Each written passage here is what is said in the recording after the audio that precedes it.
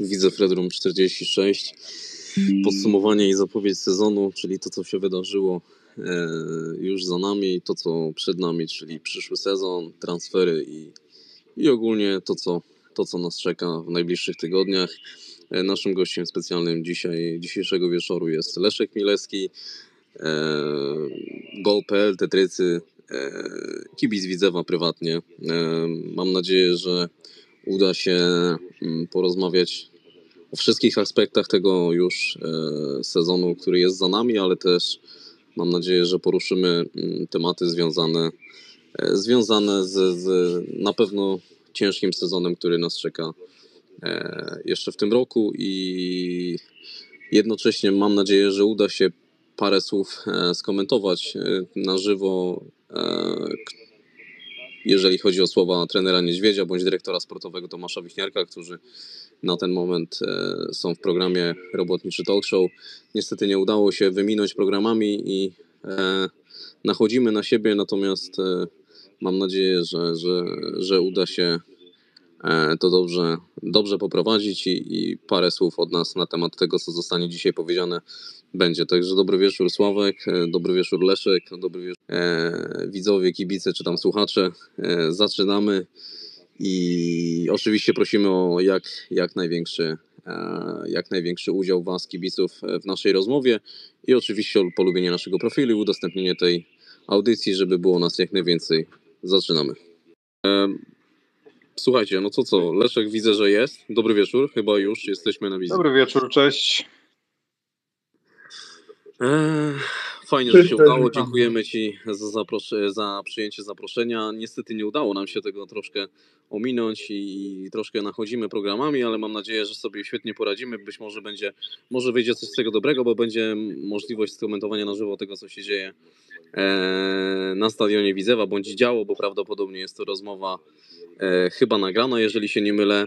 Leszek, to tak w paru słowach e, może mm, jak ocenisz tak finalnie w paru słowach? Oczywiście rozłożymy sobie to na czynniki pierwsze od początku do samego końca, ale jakbyś tak mm, miał ubrać w parę słów, e, a może i lepiej zdań, e, to jak to się wszystko zakończyło i czy, czy spodziewałeś się takiego zakończenia, czy jednak po tej rundzie jesiennej mm, twoje oczekiwania względem tego, jak to się skończyły, były jednak mimo wszystko ciut większe? Ja chciałbym wrócić do tego, że plan pana Stamirowskiego i Mateusza Drużdża, gdy obaj objęli władzę w Widzewie, zakładał, że Widzew właśnie finiszowałby sezon w pierwszej lidze, bo na awans do Ekstraklasy dawali sobie dwa lata, więc już jest Widzew rok do przodu. Ja sam byłem zażenowany wszystkim tym, co działo się wiosną w Ekstraklasie wokół Widzewa i liczba porażek, które zostały odniesione na stadionie Widzewa jest absolutnie nie do przyjęcia, tak samo jak gra, tak samo jak kadra, którą dysponował Widzew. Natomiast w szerszym kontekście pamiętajmy, że plan został zrealizowany o rok do przodu i generalnie pierwszy sezon w Ekstraklasie po tylu latach to też jest po prostu gra o utrzymanie. Ja już rok temu mówiłem tutaj, właśnie u Was, że ja oczekuję tylko i wyłącznie utrzymania, to utrzymanie zostało zrobione i cały czas będę podkreślał ten kontekst, że to jest o rok do przodu względem założonego planu przez pana Stamirowskiego. Czyli jak patrzysz tak globalnie na ten sezon, to e, dałbyś łapkę w górę, e, może łapkę w dół, czy jednak e, idąc tokiem Facebooka, e, e, jeżeli chodzi o związek, to, skom to skomplikowany? Znaczy, Ekstraklasa nie jest tak słabą ligą, żeby wejść do niej z pierwszej ligi, w dużej mierze z pierwszoligową kadrą i ją po prostu e, zaorać. Prędzej czy później wszystkie te rewelacje, czy Warta Poznań, czy w pewnym momencie Stal Mielec, no widzimy, co się później dzieje. Pojawia się rzeczywistość i trochę weryfikuje tę taką rzeczywistość rodem z marzeń, więc jak przypomnę sobie swoje przewidywania rok temu, to życzyłem sobie utrzymania Widzewa Łódź w Ekstraklasie. Widzew Łódź został w Ekstraklasie, a spadła Miedź Legnica. Wszyscy pamiętamy, jak Miedź Legnica wyglądała w pierwszej lidze. Wszyscy wiemy, że Miedź Legnica wydała dużo więcej pieniędzy na transfery w tym sezonie. Wszyscy wiemy, że zawodnicy tacy jak Masuras, jak Enriquez, gdyby pojawili się w Widzewie, to byśmy naprawdę bardzo, bardzo się cieszyli. Z transferu Drygasa zapewne też.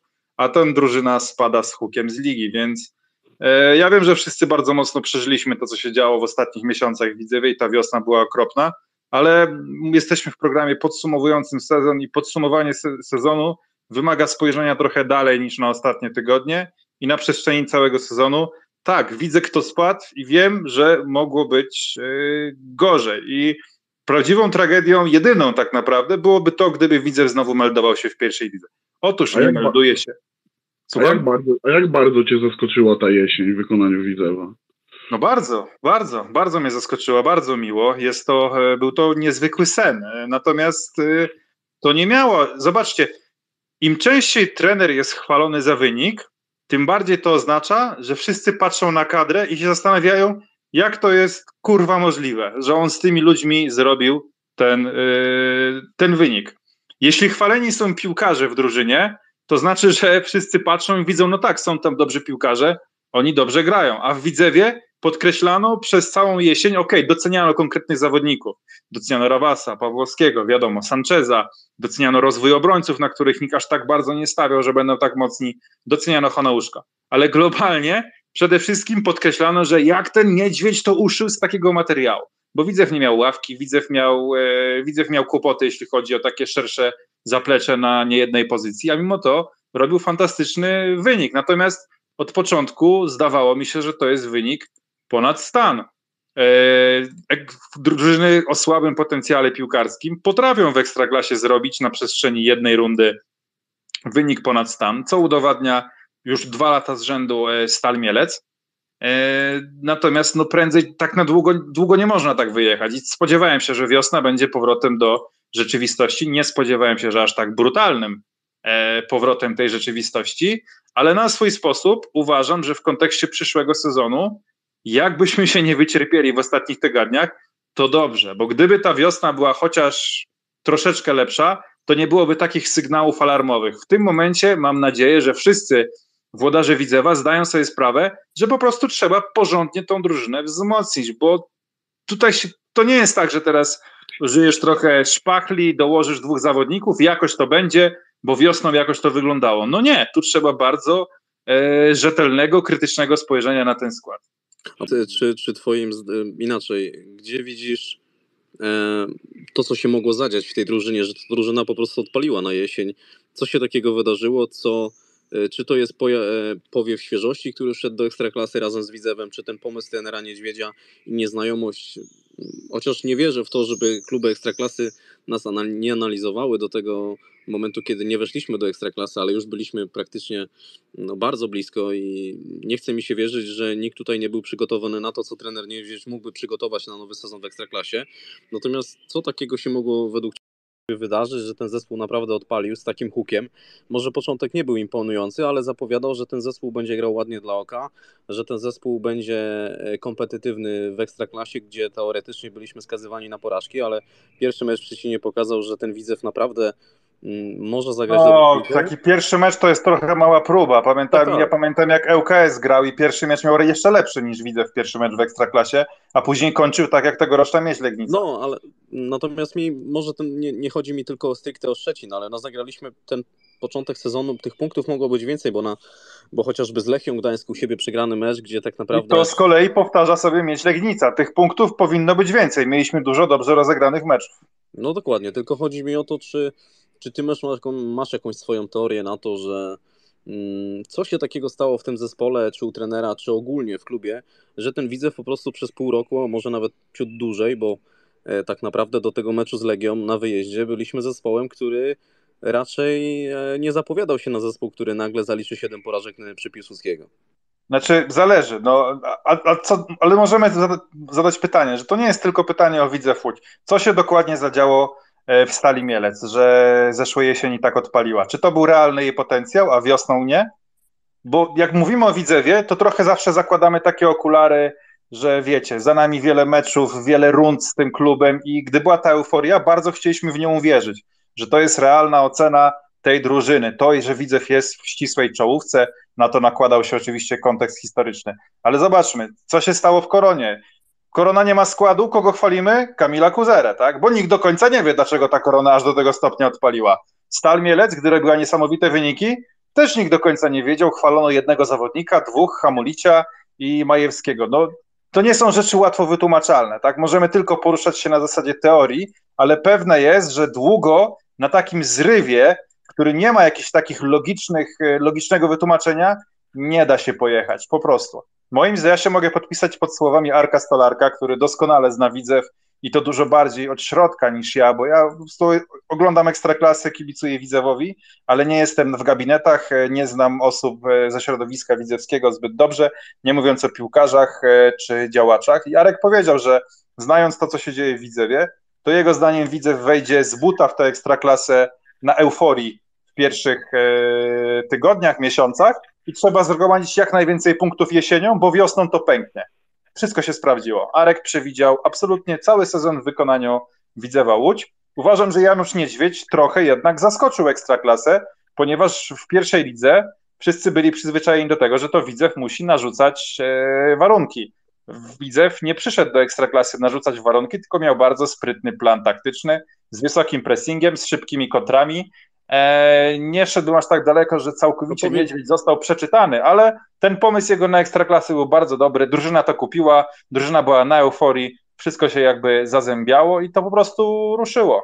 Powiem ci szczerze, że pozwolę się nie zgodzić z tym, że widzę e, e, nie narzucał swojego stylu gry, bo może poza pierwszymi kolejkami, gdzie faktycznie uczyliśmy się tej ligi, to jednak mam wrażenie, że mimo wszystko główna część tej, tej jesieni to były takie mecze, że Widzew praktycznie dominował pod każdym względem przeciwnika i to my dyktowaliśmy warunki gry. Oczywiście wiosna to wszystko trochę zamazuje, chociaż trener e, czy same statyki, statystyki pokazują, że, że ten zespół faktycznie statystycznie wygląda lepiej niż, niż jesienią i takie są fakty, mimo tego, że wyniki tego w ogóle nie potwierdzają. Natomiast mm, trener kilku, kilkukrotnie to po e, opowiadał o tym, że po prostu Widzew statystycznie w każdym aspekcie praktycznie gry wygląda lepiej niż, niż to miało miejsce jesienią. Narzucenie no... swojego stylu gry w sensie takim, wiesz, że nie wiem, Widzew nie szukał za wszelką cenę, nie wiem, posiadania piłki, tak? Tylko narzucał, no to, tak, to co ty mówisz, chodzi mi o to, że narzucał swój pomysł na grę może.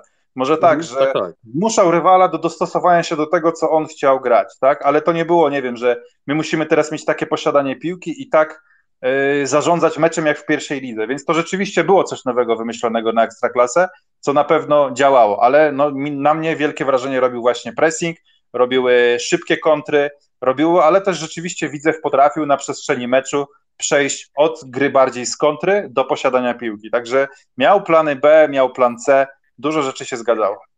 A nie masz wrażenia, że w ogóle My często tutaj e, w Polsce podśmiewamy się z tej naszej ekstraklasy, że trochę przaśna, że, że taka, owaka, a e, mam takie wrażenie, że ta ekstraklasa jednak się rozwija i idzie do przodu i poziom się podnosi. E, coraz lepsi piłkarze tutaj się pojawiają w naszej ekstraklasie i, i tak mówisz, nie jest łatwo. No przykład Wisły Płot, kto by powiedział na jesieni, że Wisła Płock spadnie z Ekstraklasy, prawda? Przecież oni byli liderem przez moment.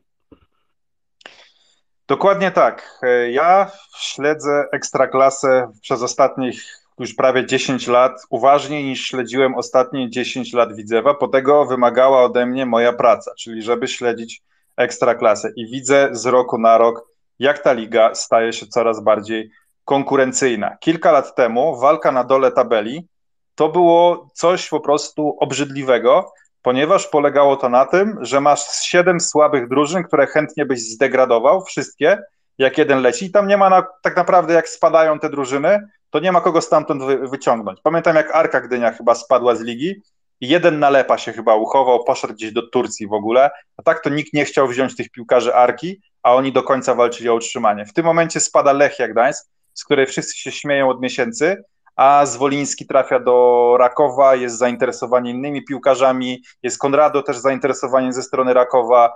E, myślę, że jest tam naprawdę kilku dobrych piłkarzy. Sam uważam, że taki Durmusz to jest fajny zawodnik i szkoda mi go, jeśli go nie będzie dalej w ekstraklasie. Tak samo przecież w Wiśle Płock. Mamy gości, którzy w pewnym momencie byli gwiazdami tej ligi. Tak? No Wolski, czego, czego by o nim nie powiedzieć, a można powiedzieć o nim dużo, to jeszcze pamiętam zeszłej jesieni, były poważnie niektórzy stawali pytania, czy to nie jest gość na kadrę, szczególnie w kontekście zbliżającego się mundialu. Więc w tym momencie możesz mieć gwiazdy ligi i możesz spaść z tych rozgrywek. Najlepszym przykładem jest Jagiellonia. Masz dwóch najlepszych strzelców ligi, a przecież masz jeszcze, nie wiem, Alomerowicza na bramce, który świetnie grał, masz Tarasa Romańczuka w środku. To nie jest tak, że masz tylko Imaza e, i Guala, a no, generalnie dwóch najlepszych strzelców ligi.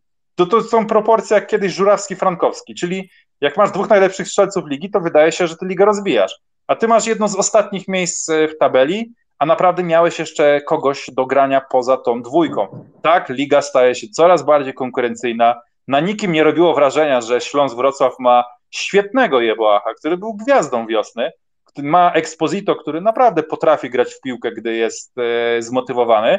Na nikim to nie robiło wrażenia. Śląsk mógł do końca spaść z ligi. Tak jak na nikim długofalowo nie będzie, tak jak na nikim wiosna nie robiło wrażenia, że Widzew ma Bartka Pawłowskiego, bo każdy w tej lidze ma jakąś wyróżniającą się postać, ale nie, również ci, którzy z niej spadają. Liga robi się coraz bardziej konkurencyjna, potrzeba coraz większej rywalizacji w składzie, coraz głębszej, dłuższej ławki i coraz więcej jakości w pierwszej drużynie. To absolutnie z roku na rok jest coraz trudniej.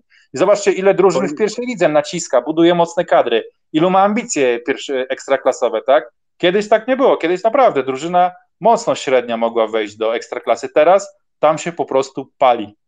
No twoim e, potwierdzeniem twoich słów na pewno jest to, że większość kluczowych zawodników dla, dla ekstraklasy, gwiazd tak zwanych, zostaje tak naprawdę i, i te kontrakty są przedłużane, czyli pieniądze też się zgadzają, te pieniądze z roku na rok się zwiększają i, i to chyba dobrze dla, dla naszej ligi, bo jednak parę lat temu bywało tak, że że jeżeli zawodnik e, zagraniczny przede wszystkim pokazał się z dobrej strony, to jeżeli pojawiła się oferta e, lepszej umowy kontraktu e, za granicą, to taki zawodnik raczej tutaj nie wiązał żadnej przyszłości. Więc, więc oby. Bardzo oby to... słusznie zauważone. Zobaczmy, jacy piłkarze w tym momencie zostają w ekstraklasie.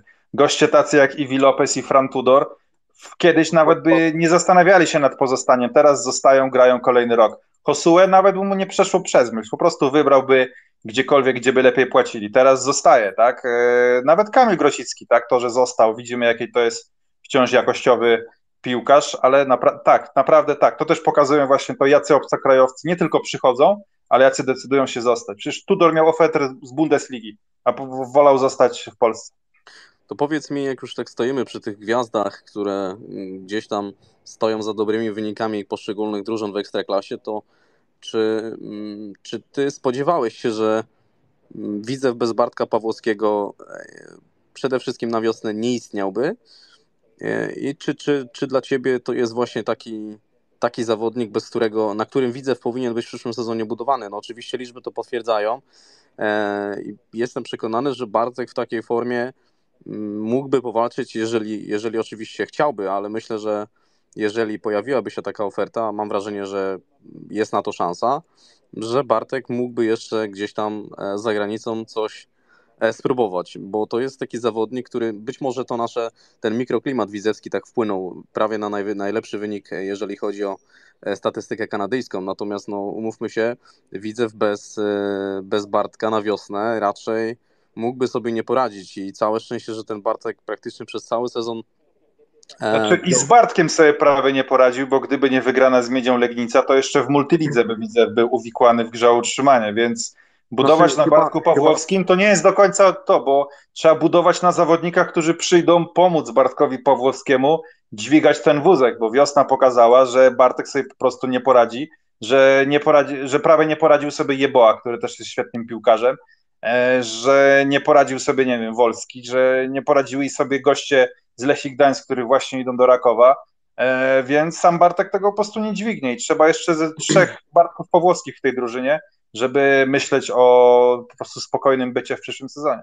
No my właśnie często między kibicami pisaliśmy na Twitterze, że po gorszych wynikach na wiosnę, że gdzieś tam Bartek przydałoby się jeszcze ze trzech takich, z przodu, żeby ten zespół zaczął funkcjonować na takim poziomie, e, jaki wszystkim by, jak, jakim wszyscy by oczekiwali. No były takie mecze, gdzie Bartek rozkładał ręce, dwoił się i troił, e, gdzieś tam był powiedzmy e, w cudzysłowie oczywiście okradany z asyst, robił wszystko, co się da, żeby ten widzew wygrywał. Nie udało się w wielu meczach tego osiągnąć, natomiast chodziło mi po prostu o to, że jeżeli mamy takiego zawodnika, a widzę dawno takiego zawodnika nie miał, umówmy się, e, który by się bardzo wyróżniał na tle reszty zespołu, to wydaje mi się, że ten zespół mimo wszystko powinien być w koło Bartka budowany, bo jest to zawodnik, no może nie, chociaż tak, no wydaje mi się, że eksportowy, bo mm, to jest jeszcze taki wiek, gdzie można by było coś spróbować za granicą, jakiś fajny kontrakt za 201 lat, mnóstwo razy już się odbijał, od, znaczy już się odbijał od tej zagranicy, również od tego Gaziantepu, więc no, no nie wiem, czy to jest, czy tutaj nie patrzymy przez nasze widzewskie okulary, że to jest gwiazda widzewa największa w tym momencie, ale nie wiem, czy zagranica byłaby jakoś bardzo Bartkiem zainteresowana. To nie byłyby ciekawe kierunki w tym momencie. On już będzie miał na jesień 31 lat. Najlepsze, co go może spotkać, moim zdaniem, to jest po prostu kontynuowanie kariery Widzewa, budowanie swojego pemnika, niż wybieranie drugiej ligi tureckiej, bo my możemy sobie wyobrazić, że on teraz, no, no gdzie, sobie, gdzie sobie wyobrażamy Bartka Pawłowskiego, jeśli chodzi o zagraniczny kierunek? No jakaś Turcja, dół tabeli ligi tureckiej. To, to maksymalnie by się zainteresował. Czyli ja jak najbardziej Bartka chciałbym oczywiście jak najdłużej w Widzewie, dlatego mówię, że chciałbym, żeby, żeby po prostu Bartek dostał zawodników, którzy gdzieś tam będą na tym poziomie, e, co ona. Życzyłbym sobie, że nawet na lepszym, bo no, żeby zespół się rozwijał, to potrzebuje konkretnych wzmocnień. E, wszyscy doskonale wiemy, że widzę w tą ławkę miał nie za ciekawą. I takie pytanie co do tej zimy. Czy, czy według Ciebie to był bardzo krytyczny błąd brak transferów zimą, czy uważasz, że została podjęta decyzja E, zarządu e, decyzja, która się broni, mimo tego, że naprawdę mm, no, nie można powiedzieć, że te wyniki były pod kontrolą i ten brak spadku był pod kontrolą, bo w pewnym momencie gdzieś tam pojawiła się informacja mm, i to też będę chciał Ciebie zapytać, czy, czy Mm, czy ty uważasz, że powiedzenie, e, wypowiedzenie słów po meczu w Warszawie, którym meczem był świetnym, umówmy się, mieliśmy wynik na, na widelcu, mogliśmy wygrać tym słynnym wynikiem 3-2. E, czy według ciebie to powiedzenie słów przez byłego już prezesa Mateusza Druża, e, że utrzymaliśmy się i dziękuję, czy coś w tym stylu, czy, czy uważasz, że mm, zeszło trochę powietrze z zawodników, bo tu kawał... Nie, nie, absolutnie nie, przecież oni walczą co ty, tak samo jak to, że trener może przegrać wszystkie mecze do końca, że to miałoby podciąć skrzydła. No i co, panowie, koleżan, koleżanki i koledzy, wyobrażacie sobie, że oni od tej pory to na treningach grali w ping-ponga, przychodzili po prostu po kebabie na te, na te mecze i, i w szatni? Przecież każdy z tych piłkarzy w każdym meczu ekstraklasy walczy nie tylko o to, żeby Widzew się utrzymał. Każdy z nich walczy o swoje osobiste stawki dobry mecz w Ekstraklasie otwiera ci nowe opcje, otwiera ci nowe opcje budżetowe. Tobie, twojej rodzinie, swojej przyszłości. To nie jest tak, że jak prezes powie, a bo niedźwiedź się utrzyma, to oni sobie jadą do Mielna na trzy tygodnie. Oni przegrali te mecze, bo byli po prostu słabi, bo, są, bo byli słabą drużyną, bo gdzieś ich potencjał został obnażony, ale nie, jakieś spuszczanie powietrza, absolutnie w to, to nie wierzę. To, to jest jeden z większych mitów, moim zdaniem, jeśli chodzi o wiosnę. Za proste wytłumaczenie. Jak coś wydaje się tak proste, że prezes powiedział, że mogą przegrać, znaczy no to nie, sobie nie, przegrali, tak? Prezes powiedział, że się utrzymali, to już mieli to w dupie. No nie, oni chcieli wygrać absolutnie każdy mecz. Jestem absolutnie o tym przekonany. Mogli być do tego zmotywowani, bo mówię, każdy z nich w każdym meczu ekstraklasy ma mnóstwo wewnętrznej motywacji, bo walczy o swoje życie, walczy o swoją karierę, nie tylko o e, widzew. I to jest potężna motywacja. Natomiast no po prostu są słabi. To często się gdzieś tam powtarza w polskich ligach, że zespół, kiedy, kiedy e, osiągnął jakiś tam wynik zaplanowany przed sezonem, to gdzieś nagle widać, że. Ci... Gdzie? Ale jakiś przykład? No często to widać, ciężko mi no, podać. No ale gdzie? No ale... często widać kiedy? Ja, ja, nie, ja nie rozumiem czegoś takiego. No chociażby, chociażby mm, przykład pierwszy z brzegu teraz z Rakowem, tak? Mistrzostwo Polski zdobyte, nie do końca już te wyniki na koniec, y, no może oczywiście... No ale tam mogła być kwestia tego, że Papszun po prostu odchodzi, tak? A nie tego, że zeszło z nich No tak, ale tego nie wiemy, prawda? No tak, no ale no to mówię, to nie mamy jednego mocnego przykładu, który tak mówi. Dla mnie to są zbyt powierzchowne wytłumaczenia bardzo złożonych. No bardzo. Tyle porażek, co widzę na, nas zbierał wiosną, to jest bardzo złożona kwestia, skąd to się zbiera, zbierało. I teraz takie bardzo proste wytłumaczenie, że e, zeszło z nich powietrze, no do mnie po prostu nie trafia. Tam jest tysiąc przyczyn, a tutaj naprawdę o motywację piłkarzy byłbym spokojny. Wyobraźcie sobie, gracie w ekstraklasie, jesteście piłkarzami, którzy, którym ostatnio nie idzie. Więc wszyscy się zastanawiają, czy wasze miejsce na pewno w tej ekstraklasie jest. Masz gigantyczną motywację, żeby pokazać, że twoje miejsce jest w ekstraklasie, tylko po prostu nie dajesz rady. O motywację widzewiaków naprawdę nie mam tutaj wątpliwości, że ona była, nawet jeśli te mecze wyglądały jak wyglądały. Przegrali je, bo byli słabsi piłkarsko.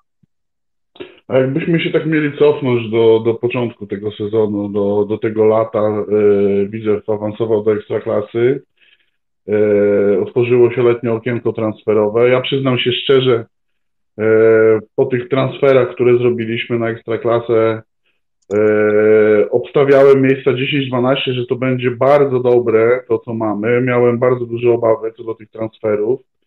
E, wydawało mi się, że są za słabe jakościowo te transfery na ekstraklasę. Oczywiście, tak jak później każdy kibic, byłem mega zaskoczony mm, e, tymi wynikami. A ty, jak patrzyłeś na to okienko letnie wtedy Widzewa, to, to myślałeś sobie, spadną z hukiem, czy, czy, czy, czy jakie wtedy twoje, twoje odczucia były? Po letnich transferach?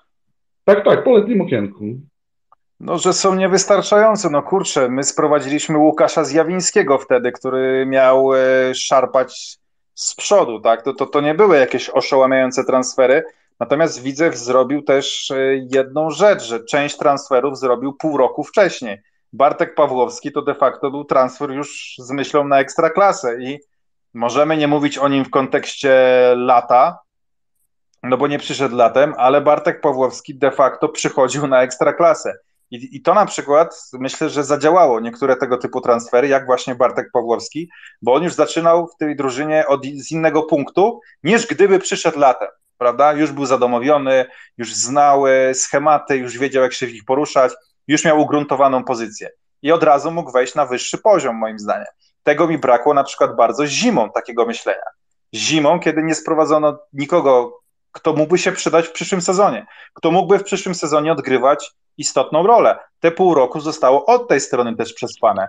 Nie same wyniki. Ja, ja, ja naprawdę byłem przekonany, że Widzew, wypracowawszy sobie tą przewagę punktową e, z jesieni, ma całą wiosnę przed sobą nie po to, żeby walczyć o puchary, bo to było dla mnie jakimś no, czymś nie, nierealnym zupełnie, tak, znając ekstraklasę, że to się po prostu nie zdarzy, ale ma pół roku, żeby przygotować drużynę do spokojnego przyszłego sezonu. Czyli no właśnie zrobić transfery zawodników, którzy gdzieś tam będą powoli w tej drużynie rosnąć, a gdy przyjdzie nowy sezon, gdy punkty z jesieni przestaną mieć znaczenie, no to oni już będą gotowi, żeby ciągnąć ten wózek. I to no zostało właśnie. po prostu spartolone całkowicie. Widzę, jest w punkcie zerowym, nie ma na kim, e, nie, nie ma tego, zmarnował tę szansę półroczną. No właśnie, właśnie do tego, do tego właśnie dążę, że też, też właśnie widzę, że odnosisz takie wrażenie, bo ja wielokrotnie mówiłem, że to, co najbardziej jest przykre po tym sezonie, e, że gdy ta jesień była tak fenomenalna tutaj dla Widzewa, to teraz jak już ten sezon się skończył, to mam wrażenie, że my tak naprawdę nie zbudowaliśmy nic, a mieliśmy okazję zbudować naprawdę fajną drużynę, która przy jakichś tam letnich uzupełnieniach, typu, nie wiem, dwa, trzy jakieś fajne ruchy transferowe, mogła naprawdę wyglądać super, a teraz wygląda na to, że będziemy musieli bardziej hurtowo robić te transfery, żeby utrzymać się w tej lidze. I najbardziej, najbardziej przykre jest to, e, nawiązując do tego, o czym rozmawiacie, że my mamy tendencję do ściągania zawodników, chyba poza Bartkiem, którzy gdzieś tam potrzebują czasu, prawda? E, większość zawodników, która przychodziła do Widzewa na przestrzeni ostatnich, powiedzmy, tych dwóch lat, E, to byli zawodnicy, którzy gdzieś tam potrzebowali czasu. E, było takich kilku zawodników, którzy dzisiaj powiedzmy, że się wyróżniają, bądź mieli taki moment w sezonie, gdzie naprawdę nas nieśli, chociażby Marek Hanousek, gdzie był bardzo blisko wylotu e, w pierwszej lidze z klubu, czy, czy Dominik Kun, czy Patryk Stępiński. Tych wszystkich zawodników zbudował trener Niedźwiedź, ale trzeba sobie powiedzieć, że ci zawodnicy, którzy do nas do tej pory przychodzą, zawsze gdzieś te parę miesięcy potrzebują, żeby, mm, e, no żeby nie wiem, czy, czy, czy złapać formę, czy, czy troszkę obudować się w tym, co ich tutaj e, zastanie, czyli wielki klub, masa kibiców, duża presja. I to trochę martwi, że idzie teraz nowy sezon i tak jak mówicie, mm, straciliśmy pół roku. Oczywiście utrzymaliśmy, utrzymaliśmy się jako klub, natomiast no, e, ja też mam takie obawy, że właśnie tak jak powiedzieliście, mogliśmy sobie tutaj testować, że tak powiem, zrobić sobie poligon na wiosnę i raczej krzywda by nam się nie stała. Prawie się stała taka, że byliśmy blisko tego spadku, aczkolwiek może i daleko, ale mimo wszystko tych zawodników mogliśmy sobie sprawdzać, dać oczywiście szansę. Eee, zakupiliśmy czy zakontraktowaliśmy tylko e, Cyganiksa, który na ten moment y, tylko potwierdza tą teorię, że większość zawodników przychodzących do Widzewa nie potrafi wejść z marszu i pokazać jakość. No i teraz tak sobie myśląc, co będzie na nowy sezon, to naprawdę e, albo tutaj się coś zmieni i zaczniemy e, kontraktować zawodników, gotowi do gry na wyższym poziomie niż dotychczas, albo będzie duży problem. No tak. Tak jak. Krótko i No, jakby pod, podsumowaliśmy to, te, te, te myśli z wcześniej, no jak najbardziej tak. No dobra, to może zostawmy już tą sferę piłkarską, bo już dużo zostało powiedziane. A powiedz też, jak ty patrzysz na przemiany, które się dokonały w naszym klubie. Wiadomo, e, kto, kto Widzewowi e, kibicuje, ten cyrku się nie śmieje, to Widzewie zawsze musi się coś dziać. Tak, jesteśmy takim klubem, gdzie, gdzie zawirowanie to nasze drugie imię i zawsze muszą być jakieś zmiany, jakieś ruchy. E, widziałem Twoją taką wypowiedź, że mówiłeś e, kolokwialnie, że walczą w Tobie, nazwijmy to dwa wilki, tak? E, e że masz wrażenie, że i jedni kibice, którzy tam się przekomarzają, e, mają rację i drudzy. E, I jak ty to odebrałeś wszystko, powiedz? Ja, ja, nie jestem jakby ekspertem do, do tak zwanych widzewskich środowisk, że naprawdę jest wiele różnych środowisk gdzieś tam na szczytach Widzewa, każdy ma swój pomysł, każdy ciągnie trochę e, w innym kierunku. I jakby to nie jest tylko specyfika Widzewa, po prostu w wielkich klubach, które wzbudzają wielkie zainteresowanie, tak po prostu się dzieje e, i tak też jest w Widzewie i tego jesteśmy świadkami, natomiast czasami to jest kulą u nogi Widzewa, że nie ma takiego silnego, no, spójrzmy na Raków, tam właściciel coś decyduje i po prostu e, wszystko dzieje się w jednym kierunku, tak? Nawet kiedyś miałem okazję rozmawiać z panem Michałem Świerczewskim i on podawał, wtedy w Widzewie rządziło stowarzyszenie i pan Michał mi powiedział, że słuchaj, jak ja chcę piłkarza, to ja w pięć minut po prostu mam gotową dla niego propozycję i wszystko, i koniec. Ja w Widzewie będę się negocjować przez dwa tygodnie teraz, złożyć propozycję, w tym czasie on już będzie gdzieś indziej. E, I ta centralizacja władzy czasami jest atutem w Widzewie, chyba już się poprawiło pod tym kątem, no ale właśnie to jest jedna z tych, e, z tych osi tutaj, że o taką centralizację e, w Widzewie zawsze będzie ciężko i, stąd może się biorą te, te różne zawirowania, które e, mają miejsce chyba no, cały czas tak naprawdę w ostatnich latach, bo to tego było naprawdę dużo. Pamiętajmy, że widzę, tak jak patrzymy, nie wiem, na Raków, który gdzieś tam piął się w górę, no to cały czas, nie wiem, nad twarzą tego awansu była jedna i ta sama postać, później dwie, tak? Widzewie już było wielu prezesów, to ilu prezesów miał Widzew po drodze do e, podniesienia do się do tego miejsca, w którym jest teraz, no to jest rzeczywiście dość szokujące. Ja pamiętam taki, taki rok, gdzie latem napisałem, że Widzew do tej pory miał więcej e, prezesów w tym roku niż zwycięstw u siebie i takie sytuacje się zdarzały podczas tej ścieżki i no nie wiem, czy, czy, czy jest możliwe prędko, żeby było inaczej, jeśli chodzi o same to liczne zawirowania. Znaczy wiesz, teraz e, takie odnoszę ja wrażenie przynajmniej, że te wizje się rozjechały, wizja prezesa i wizja, wizja właścicielska się rozjechały, poszły w, w, dwóch zupełnie innych kierunkach i wiadomo, że to właściciel ma, ma zawsze rację, a, a jak nie, to patrz punkt pierwszy, jak to się mówi kolokwialnie i, i on zatrudnia ludzi, on sobie dobiera ludzi pod swoją wizję. E, natomiast ciekawi mnie ocena tych wizji, e, bo, bo e, prezes Drusz raczej stawiał na E, na budowę struktur, w sensie akademii na przykład. Ja osobiście mam takie wrażenie, że Widzew jeszcze długo, długo nie, nie zbuduje silnej akademii. Przede wszystkim do tego potrzebny jest e, ośrodek treningowy, tak, bo, wiadomo, że na klepiskach nie wychowasz e, przyszłych reprezentantów Polski.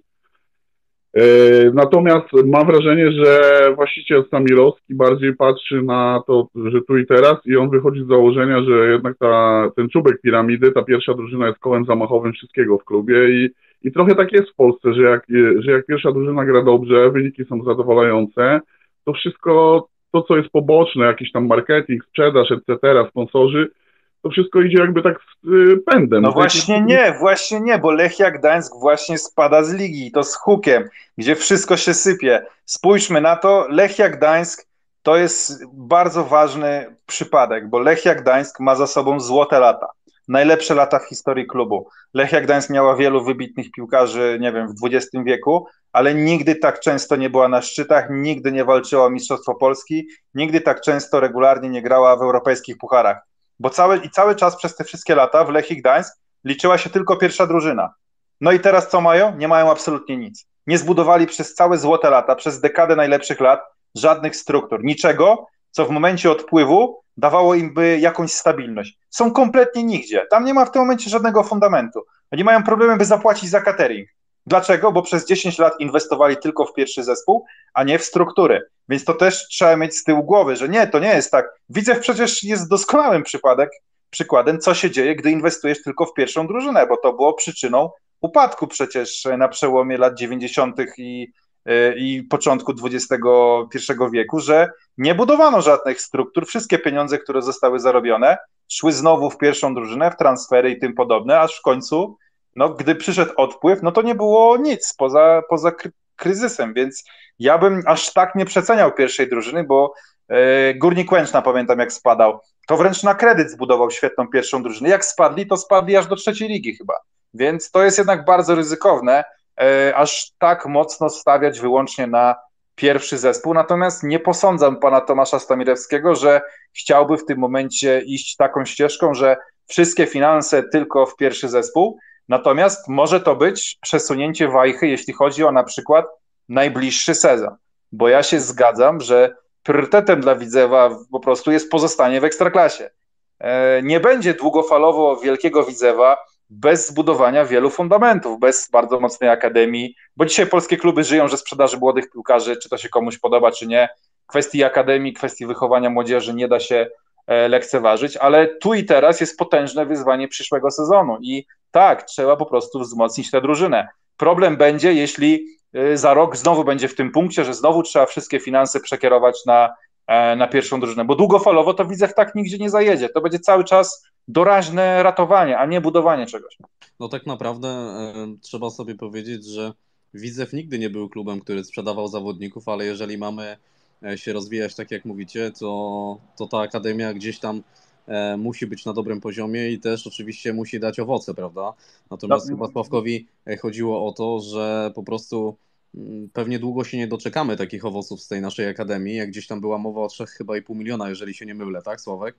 E, które idą rok tak, w rok tak. na, na akademię i po prostu tak jak wspominasz o tej, że idzie Wajcha troszkę w drugą stronę, czyli w stronę pierwszej drużyny, trzeba sobie powiedzieć, że to jest taka trochę niekończąca się opowieść, bo z jednej strony, jeżeli nie zainwestujemy większych pieniędzy w pierwszy zespół, to być może spadniemy. Jeżeli spadniemy, to stracimy wpływy z, z Kanał Plus, e, a co za tym idzie, budżet będzie mniejszy i tak jakby cofniemy się znowu parę lat do tyłu. Jeżeli nie znajdziemy dobrego balansu, jeżeli chodzi o akademię, to tak naprawdę, tak jak powiedziałeś, może nas trafić Kasus Lechii Gdańsk i gdzieś tam na przestrzeni lat, y, mimo że będziemy w tej ekstraklasie, podwinie nam się noga, wyniki będą e, gorsze, drużyna będzie troszkę przehajpowana i przepłacona i nagle dojdziemy do ściany i okaże się, mm, że jesteśmy w podobnej sytuacji, oby oczywiście nie. E, teraz chyba najważniejszym z tego wszystkiego jest to, żeby ten balans znaleźć, natomiast ja też jestem zdania, że jednak wydaje mi się, że do tej pory ta wajcha była za bardzo e, zaciskająca pas. I ja osobiście cieszę się ze słów pana Tomasza, że, że ten zespół jednak będzie troszkę do, do, doinwestowany, bo tak jak mówiliśmy na początku, e, trzeba sobie powiedzieć, że ten zespół po prostu w pewnym momencie nie dojechał, prawda? I, i e, ciężko powiedzieć tak naprawdę. Ten ośrodek, gdzieś tam się o nim mówi. E, ostatnio była rozmowa o tym, że to był jeden z powodów, dlaczego prezes Druż został odwołany, tak, bo gdzieś te wizje ośrodka miały być 25 milionów, okazało się, że będzie 45. E, tak naprawdę nigdy nie wiadomo, czy ten ośrodek w ogóle powstanie i kiedy. Ciężko oczekiwać. Znaczy on że... musi powstać, jeśli Widzew chce być klubem na miarę XXI wieku. Jak najbardziej, tylko umówmy się, że to są... Plan jakiś tam jest tak naprawdę, ale wiemy jak to w polskiej rzeczywistości wygląda Planów możemy mieć tysiące, natomiast rzeczywistość może się okazać brutalna i być może Widzewa nie będzie stać na to, co sobie założyliśmy i będzie trzeba edytować ten plan, który już... No to Widzew, jeśli nie zbuduje tego e, ośrodka, to nigdy nie będzie gdzieś... Znaczy, tylko wy... znaczy generalnie perspektywy sobie bardzo mocno zamknie i w tym momencie nie jesteś w stanie e, budować Widzewa, który znowu będzie walczył gdzieś o Mistrzostwo Polski, jak, gdzie będzie docelowo jednym z najmocniejszych klubów w Polsce przez lata bez ośrodka, bez e, wychowanków, bez jakiejś struktury, bez e, jakiegoś planu na to, jak zarabiać na młodych piłkarzach. Zobaczmy na Pogoń Szczecin. Pogoń Szczecin nie jest klubem, który delikatnie mówiąc kojarzy się z tym, że zawsze był w czołówce. ale w tym momencie jego pozycja w czołówce nie jest zbudowana tylko na tym, że aktualnie mają dobrych piłkarzy, tylko nawet nie na tym, że sprzedali całkiem niedawno Kacpra Kozłowskiego za 11 milionów euro. 11 milionów euro. Tyle za jednego młodego piłkarza zarobił, zarobiła Pogoń Szczecin. Kolosalne pieniądze. Ale co jest istotne, oni tylko w tym samym sezonie sprzedali zupełnie przeciętnego, e, jak na własne warunki, jak na warunki ekstraklasowe, Adriana Benedyczaka za 2,5 bańki też euro. Benedyczak nawet nie był im potrzebny na ten sezon kolejny. Oddali go bez żalu za 2,5 miliona euro. Tyle zarabiają na e, młodzieżowcach. Pogoń Szczecin, nie Lech Poznań, który już od lat inwestuje, tylko Pogoń Szczecin również e, poszła mocno w ośrodek, zbudowała markę i w tym momencie po prostu kości potężne pieniądze na ośrodku, więc ja, ja wiem, że w tym momencie potrzebujemy y, wszystkie ręce na pokład, żeby po prostu utrzymać ekstraklasę w przyszłym sezonie, ale tak, ja mówię co cały rok, dla mnie jednym z najważniejszych wydarzeń Widzewa w minionym sezonie i to jest takim rozczarowaniem wiosennym, to de facto nie są te porażki Widzewa największym rozczarowaniem, tylko to, że sprawa ośrodka wygląda tak, jak wygląda. Ja chyba trochę się dałem nabrać i myślałem, że to co zimą, no to rzeczywiście że to wszystko ruszy z kopyta, że to jest cały czas w zawieszeniu, to jest dla mnie największe rozczarowanie, bo wszyscy w tej lidze już wiedzą, że w, w polskiej piłce można mieć dużo pieniędzy. Jak sprzedajesz młodych piłkarzy? To jest autostrada do kolosalnej kasy. Młodzi piłkarze, zdolni młodzi piłkarze przyjeżdżają do nas z różnych krajów kupować młodych piłkarzy. Muszą zacząć przyjeżdżać na widzę, bo inaczej wszyscy po prostu będą e, w ekstraklasie no, mieli łatwiej od nas. No trzeba, trzeba przyznać, że coś w tym jest, bo tak jak mówisz, taki Kasper Kozłowski sprzedany, to w tej chwili to jest e, budżet Widera, można powiedzieć, tak? Z jednego A jeszcze dokładasz Benedyczaka, który daje ci lekką ręką 10 baniek górki. To jest tylko dwóch piłkarzy. No, czyli tak, tak. po dzisiejszych kursach to jest w okolicach 60 paru milionów złotych. No, to już masz ośrodek wybudowany za te pieniądze. No myślę, że myślę, że sztuką będzie e, w prowadzeniu e, klubu przez właściciela E, złapać ten taki złoty środek, ten balans właśnie, o którym tutaj często mówiliśmy w Red Roomie, bo ja też jestem zwolennikiem tego, że takiej zrównoważonej budowy klubu i, i żeby ta wajcha ani nie była w jedną stronę przeciągnięta, tak jak mówiłeś Lechia Gdańsk, chociaż do końca z tym Gdańskiem to ja się nie zgadzam, bo tam te agencje menedżerskie były też tam właściciele agencji menedżerskich, tam tych piłkarzy naprawdę przez ostatnie lata przewijały się, się tabuny. I... No tak, ale chodzi o to, że zawsze priorytetem była pierwsza drużyna i nie budowano nic poza tym. Tak? To no tak, ale to widzimy, jak się kończy, gdy budujesz tylko pierwszą drużynę przez lata i nic poza tym. Jasne, zgadzam się, zgadzam się. Tylko, że myślę, Ale Lechia ma wielkie tradycje przecież wychowywania młodych piłkarzy przez lata tak, i tak. nawet tego nie potrafiła uszanować, no, rozwiązując rezerwy jeszcze w minionym sezonie. Także to bo... tylko już tak. Bobo Kaczmarek nie jest najlepszym przykładem, który tam, który tam e, szkolił tych młodych chłopców. Natomiast myślę, że to też, wiesz, wiesz, to jest takim pokłosiem tego, że po prostu chcieli zarabiać na tej pierwszej drużynie i, i dlatego inwestowali w nią i wyszło tak jak wyszło, no ale zostawmy, zostawmy lekkie, bo to, to, to nie nasz problem w tej chwili. Natomiast e, z tym ośrodkiem to też myślę, że... Sekundkę, proszę. Zanim polecimy dalej z tematem, to wpuśćmy Bojanka e, Łukasza, który gdzieś tam poprosił o głos. Zaraz będziemy lecieć dalej. E, bo były dwie osoby już czekały, żeby się wypowiedzieć, zapytać, a to też jest program dla naszych kibiców, więc zanim panowie pójdziemy dalej, to Łukasz Bojan niech zada swoje pytanie, także zaraz będziemy po prostu kontynuować. Cześć, dobry wieczór wszystkim. Słyszymy się? Słyszymy się. Dobrze, cześć, cześć.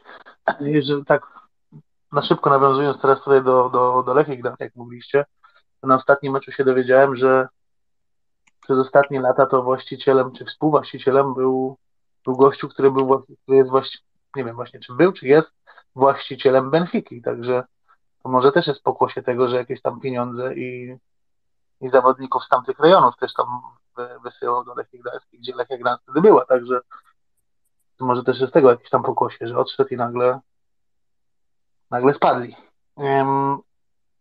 tak nawiązując też do tematu tutaj teraz właścicielskiego, tutaj gadaliście o tego, tego ośrodka, e, ja tak się dziwię. W zimę było mówione, że już dobra, w sumie tutaj zarząd, pan ex, ex-prezes podjął taką, taką, w sumie nie podjął, no, ale dał możliwość, że, żeby ten ośrodek powstał w Bukowcu. E, I też tak sobie myślę, co się, co się zepsuło, bo pan Stamirowski też nawet tutaj w pokoju mówił, że e, on sobie nie zamyka drogi do, do startu. I teraz pytanie jest, czy te może ta budowa to wszystko nie rusza, bo pan Stamirowski dalej, dalej myśli, że z tym startem coś, coś może sobie ugrać. E, bo jak sobie tak popatrzycie troszeczkę wstecz, no to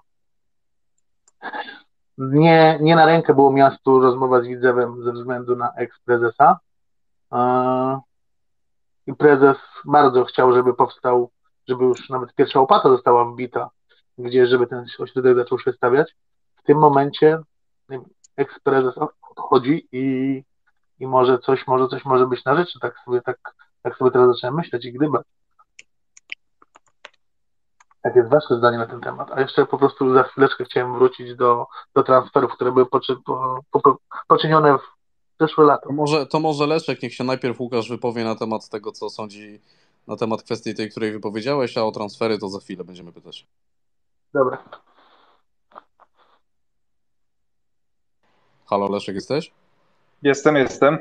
No i co uważasz na temat tego e, pytania, jeżeli chodzi, myślisz, bierzesz pod uwagę to, że, że gdzieś tam właściciel e, mógłby jeszcze rozmyślać o tym starcie, czy, czy raczej uważasz, że to jest nie do zrealizowania? I, i... Znaczy, ja się obawiam startu tylko od tej strony, że to może nie być dostatecznie dużo przestrzeni. Ja nie wiem, nie znam aż tak dobrze, ale wydaje mi się nie przypadkiem, że raczej te największe akademie nie są budowane w centrum, tylko gdzieś kawałek poza, żeby po prostu dało się to rozbudować bez jakiegoś większego halo, po prostu obok masz przestrzeń, żeby się to rozbudowywało. Te ośrodki dzisiaj naprawdę wymagają dużo przestrzeni. Ja szczerze mówiąc, rzadko bywam w tamtej części e, Łodzi, e, ale nie, nie wydaje mi się, żeby tam było aż tyle przestrzeni, żeby to spełniało warunki XXI wieku, gdzie raczej będzie potrzeba tego jeszcze bardziej rozbudowywać, więc ja nie byłem zwolennikiem, miałem wątpliwości od tej strony, natomiast jest, nie znam aż tak E, spraw ośrodków, nie jestem e, ekspertem.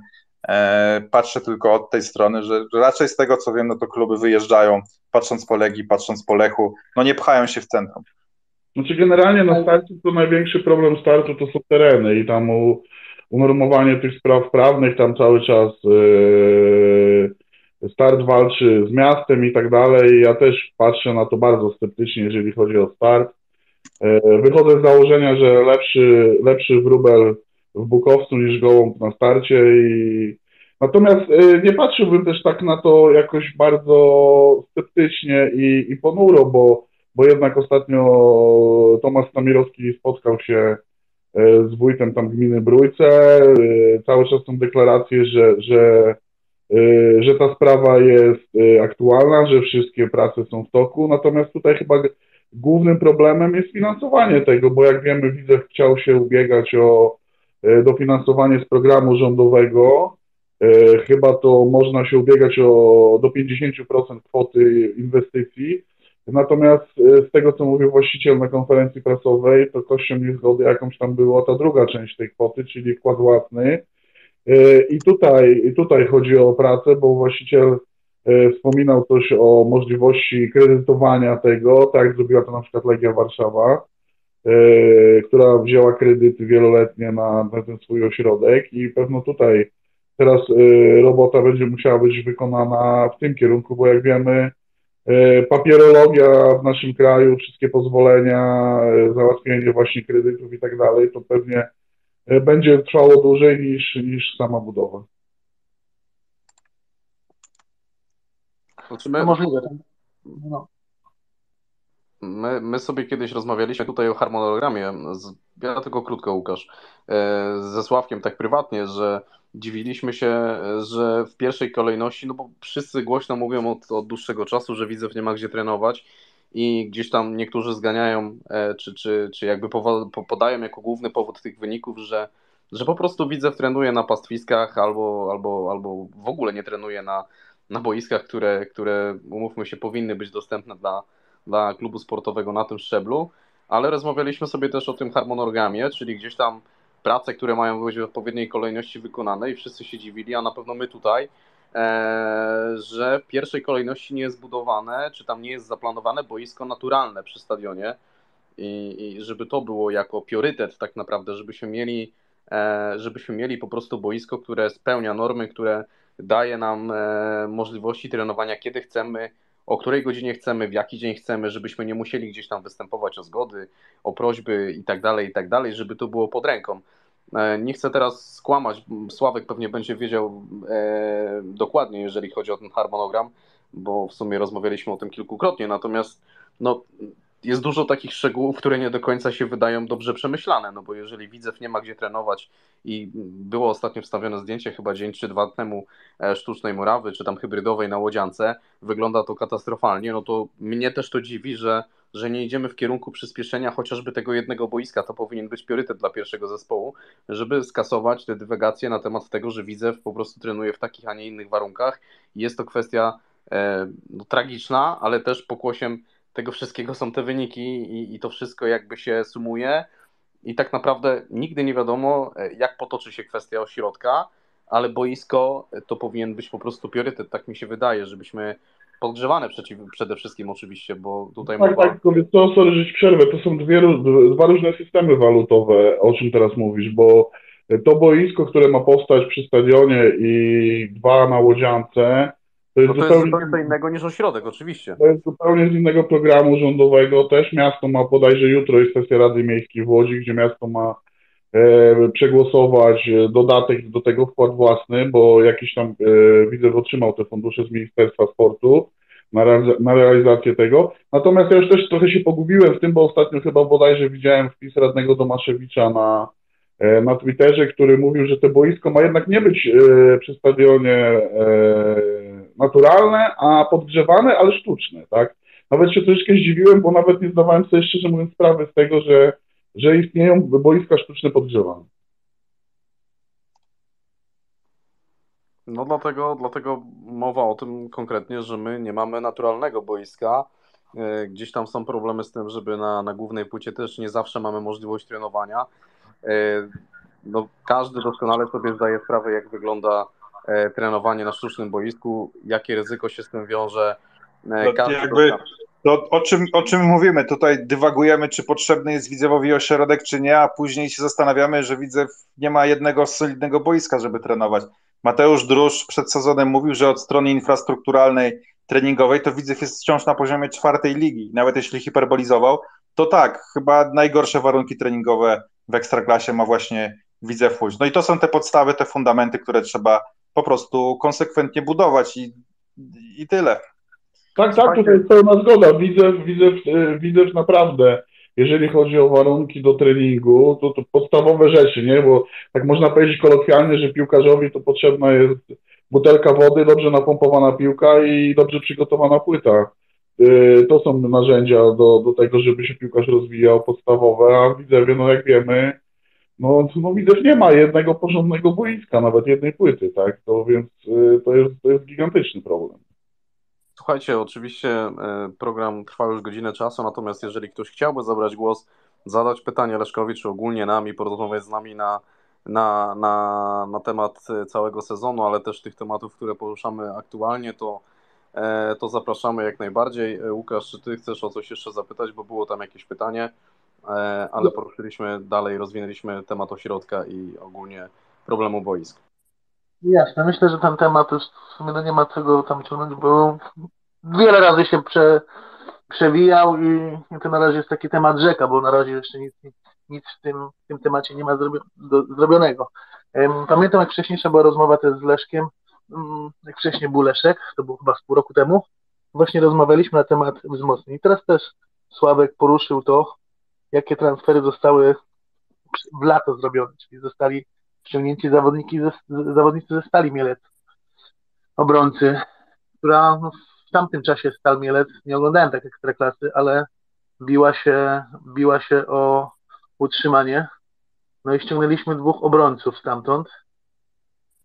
No i moim zdaniem, to jest moje oczywiście zdanie, nie wiem jak, jak, jak, jak, jak ty Leszku, czy oni się sprawdzili, czy obrońcy się sprawdzili w Widzewie? Bo wydaje mi się, że no Czorbadziński tak jak na samym początku pokazał, że można powiedzieć, nie wiem, jest przeciętny czy coś. No, na pewno jest lepszy od tych zawodników, którzy byli w pierwszej lidze, bo to, to, to, to, nie, ma, to nie ma w ogóle porównania, ale no na ekstraklasę jest przeciętny. Co, co do Żyry, no też, też mi się wydaje, że lepiej od niego dużo wyglądał Kreuzliger, który nie dostawał tylu szans. Tak samo się ma sytuacja do Hansena, który wydaje mi się, że jest jednym z lepszych zawodników technicznych, dużo widzi, a, a też nie dostawał w ogóle szans. A ci zawodnicy już byli ściągnięci, można powiedzieć, rok temu. Jak ty uważasz? Znaczy, ściągnęliśmy dwóch obrońców, którzy grali w drużynie walczącej utrzymanie i którzy się w tej lidze utrzymali i w tym roku są to znowu piłkarze z dołu tabeli, obrońcy, którzy utrzymali się w lidze. No jakby oni zachowali swój, swój poziom, tak? Yy, oczywiście, że Czorbadziński to, to żartuje, no bo poza e, tą jedną akcją tak naprawdę z Krakowiem, gdzieś tam może jakimś niezłym meczem na samym początku, no to wiadomo, że to jest porażka, no ale że, że też ocena jakiegokolwiek zawodnika w Widzewie jest niesamowicie trudna, bo nie możemy Żyży odebrać tego, że wiosną dołożył mnóstwo cegiełek do fenomenalnych e, momentami spotkań, ale no też chciałoby się go skrytykować za wszystko, co się zdarzyło wiosną. No moim zdaniem są piłkarze, którzy no, to, nie jest pił, to, to nie jest piłkarz, którego całkiem bym skreślał, no bo jednak już jest chyba trzeci sezon w Ekstraklasie, ani razu z tej Ekstraklasy przez ten czas nie spadł, coś ten piłkarz, więc y, musi umieć, ale no to jest gość, do którego, na którym nie opierałbym defensywy, tylko raczej potrzeba tutaj takiego prawdziwego e, szefa, z, któremu Żyro może pomagać, Żyro może być w rotacji. Po, w, w, środku tabeli, w którą mierzy pan Tomasz Stamirowski, no to Żyro raczej był zawodnikiem rotacji. Czasem zagrał, jeśli dobrze wygląda, ale czasem wylądował na ławce. W Widzewie no, to było dużo trudniejsze, bo często po prostu musiał grać, tak? I nie było za bardzo tak naprawdę kogoś, kto, nie wiem, mógł e, Mateuszem Żyrą e, dyrygować. A zgodzisz się, że najbardziej wygranym w tym bloku defensywnym e, po tym sezonie jest też piłkarz paradoksalnie, który spadł z ligi i który nie, grał albo grał bardzo mało w tej drużynie, czyli mówię o Serafinie Szoci. Tak, tak, Serafin Szota absolutnie jest wielkim wygranym. Tutaj nikt się nie spodziewał, że on aż do tego stopnia odpali. No tak to czasami jest. Widzicie, zawodnik, który został sprowadzony bez jakichś większych oczekiwań, a odpala. No taka jest piłka. Piłka bywa po prostu nielogiczna. Sprowadzasz kogoś, kto nie tylko miał mocne CV, ale w zeszłym sezonie wyglądał nieźle. No bo Czarbadziński wyglądał, miał dużo lepszy miniony sezon, nie ten, tylko jeszcze wcześniejszy, niż taki Szota, no a całkowicie rzeczywistość pokazała co innego. No jest mnóstwo kwestii. Trafiasz do nowego systemu, możesz po prostu lepiej wyglądać w tym systemie, którego oczekuje nowy trener. Y, to są te wszystkie niuanse, które ostatecznie decydują, a które my czasami o nich trochę zapominamy i tak patrzymy, no tak, on miał dużo minut, grał nieźle, to dlaczego nie gra znowu nieźle u mnie? No dlatego, że jest tysiąc zmiennych, inaczej się dogadujesz z kolegami, y, czego innego wymaga trener, no i tak to się toczy. Czy ty, Leszek, w tym zespole obecnym z tą aktualną kadrą widzisz jakiegokolwiek zawodnika, mm, którego jesteśmy w stanie w tym sezonie, w tym okienku transferowym spieniężyć? Nie. Żadnego, nawet Szota. Nikogo. Nie. Ja, Szota to, to parę. No, nie na takim spieniężeniu, jakim mówimy w ekstraklasie. Aha, Mówiłem o tym Benedyczaku. Mówię o Benedyczaku, piłkarzu, którego Pogoń nie potrzebowała i sprzedała za 2,5 miliona euro. No, no Szotę możesz sprzedać za ile? Za, za kilkaset tysięcy euro maksymalnie. No to nie są pieniądze, które robią jakąś różnicę w ekstraklasie w tym momencie, więc y, pytanie, czy jest sens w ogóle go za tyle sprzedawać, bo byś musiał szukać następcy, co wcale nie będzie tanie. Sprzedawanie w ekstraklasie ma sens, gdy są duże pieniądze, jak stal za Hamulicia. W tym momencie nie ma nikogo takiego w tej drużynie, kto byłby jak Hamulić chociażby, czyli że tu i teraz zgarniasz za niego te dwie bańki. Stal wygrała bardzo dużo sprzedając tego Hamulicia. Eee, no, Widzewie nie ma teraz ani jednego piłkarza z takim potencjałem sprzedażowym jak Hamulić. Ja myślę, że Widzewie to najbardziej liczono na Terpiłowskiego zdecydowanie, że to jest jakiś młody chłopak, za którego można wziąć jakieś pieniądze, ale ta forma do jego to też jednak była sinusoida. Taka. No takich terpiłowskich, no to jednak w Ekstraklasie się, się po prostu widuje, nie? To, to nie jest raczej ktoś, o kogo tu i teraz będzie walczyć zagranica tak. E, miał swoje, swoje momenty, nie jest jakiś taki całkiem surowy i myślę, że ostatecznie bywał przydatny, no ale też czy to było tak, że jak widzieliśmy Terpiłowskiego w składzie, to aż nas trzęsło z ekscytacji? No chyba nie, chyba też po prostu w mocniejszej drużynie, przy mocniejszej rotacji Terpiłowski dostałby dużo mniej minut, ale czasem po prostu musiał grać, no to grał. Z tych zawodników, których e, żegnamy na ten moment, czyli w większości, który, którym kończą się kontrakty, ich nie przedłużamy. Czy ty widzisz kogoś, kogo z twojej perspektywy żegnamy za szybko, czy raczej ze wszystkim się zgadzasz i nie masz tutaj żadnych obiekcji takich typowo prywatnych? Muszę sobie przejrzeć ponownie, jak wygląda ta lista dokładnie. Martin e, to jest taki zawodnik według mnie. Oczywiście mm, ta perspektywa, patrząc na Martina z mojej, jakby z mojej perspektywy, patrząc na niego, oczywiście rzutuje mocno na plus te wykonywanie jedenastek. Ktoś powie, że to jest mało istotny element dla obrońcy, natomiast y, uważam, że mm, mega istotny, bo, bo mieliśmy w kluczowych momentach problemy z tymi jedenastkami. E, lewonożny zawodnik, w mojej opinii, nie wiem oczywiście o jakie tam pieniążki się rozeszło, ale zakładam, że Martin chciał podwyżkę, takie chodzą słuchy. E, to jest taki zawodnik w mojej ocenie, który, który, który e, mógłby zostać, aczkolwiek jeżeli go żegnamy, to zakładam, że, że przyjdzie ktoś lepszy. No, jakby z całych tych zawodników, wszystkich, którzy odchodzą, to jest jedyny, nad którym w ogóle można się pochylić i zastanawiać, czy on powinien zostać czy nie powinien zostać i ostatecznie jeśli Kreutzigler chciał podwyżkę, to nie powinien zostać, bo na podwyżkę, no to nie przesadzajmy, e, nie zasłużył i raczej w Ekstraklasie też w grze o utrzymanie piłkarze tacy jak Kreutzigler jakiegoś wielkiego wrażenia nie robią. No, tak, takie jest moje zdanie, doceniając to, co rzeczywiście dał, no to, to szału nie ma i potrzeba lepszych. Tutaj, e, tutaj. E, na rotację ok, na rotację ok, ale jeśli chciał jeszcze jakiś podwyżek dużej kwot, no to nie, dziękuję bardzo. Tutaj, tutaj dostałem informację, że na, na, na talk show widzewskim zostało powiedziane, nie chcę skłamać, ale widocznie tak było, e, że transfery, które będą przygotowane na nowy sezon, jest to napastnik, ofensywny pomocnik, obrońca i dwóch młodzieżowców. Czy, czy według Ciebie brakuje tutaj mm, wahadłowego? Bo według mnie tak. Napastnik, ofensywny pomocnik, dwóch młodzieżowców. I obrońca. I obrońca, tak? No, wahadłowi na pewno. No, w zasadzie ja... nie ma pozycji, której widzę, by nie potrzebował kogoś. Ja, ja mam wrażenie, że widzę w ogólnie, znaczy to nie jest tylko chyba moje wrażenie, ale ogólnie każdy, kto interesuje się piłką, piłką ogląda widzew, e, to doskonale sobie zdaje sprawę, że my opieramy się na wahadłach. To jest tak naprawdę e, bardzo, to są dwie kluczowe pozycje, mówię o lewej i prawej stronie. I jak pamiętamy Fabio z początku, to ten widzę wchodził, ta lewa strona była bardzo dobra. Kiedy to wszystko zgasło, ta kontuzja nieszczęsna, e, prawa strona, rzucony Milosz z lewej na prawo i odwrotnie, transfer Cyganiksa, Zieliński oczywiście jest solidnym zawodnikiem, ale na pewno nie takim, jakiego większość kibiców by oczekiwało na tym e, wahadle, bo są to kluczowe mimo wszystko e, pozycje do, do tego systemu i w mojej ocenie, jeżeli my oceniamy naszą kadrę jako jako solidną na bokach, to ja się z tym nie zgadzam.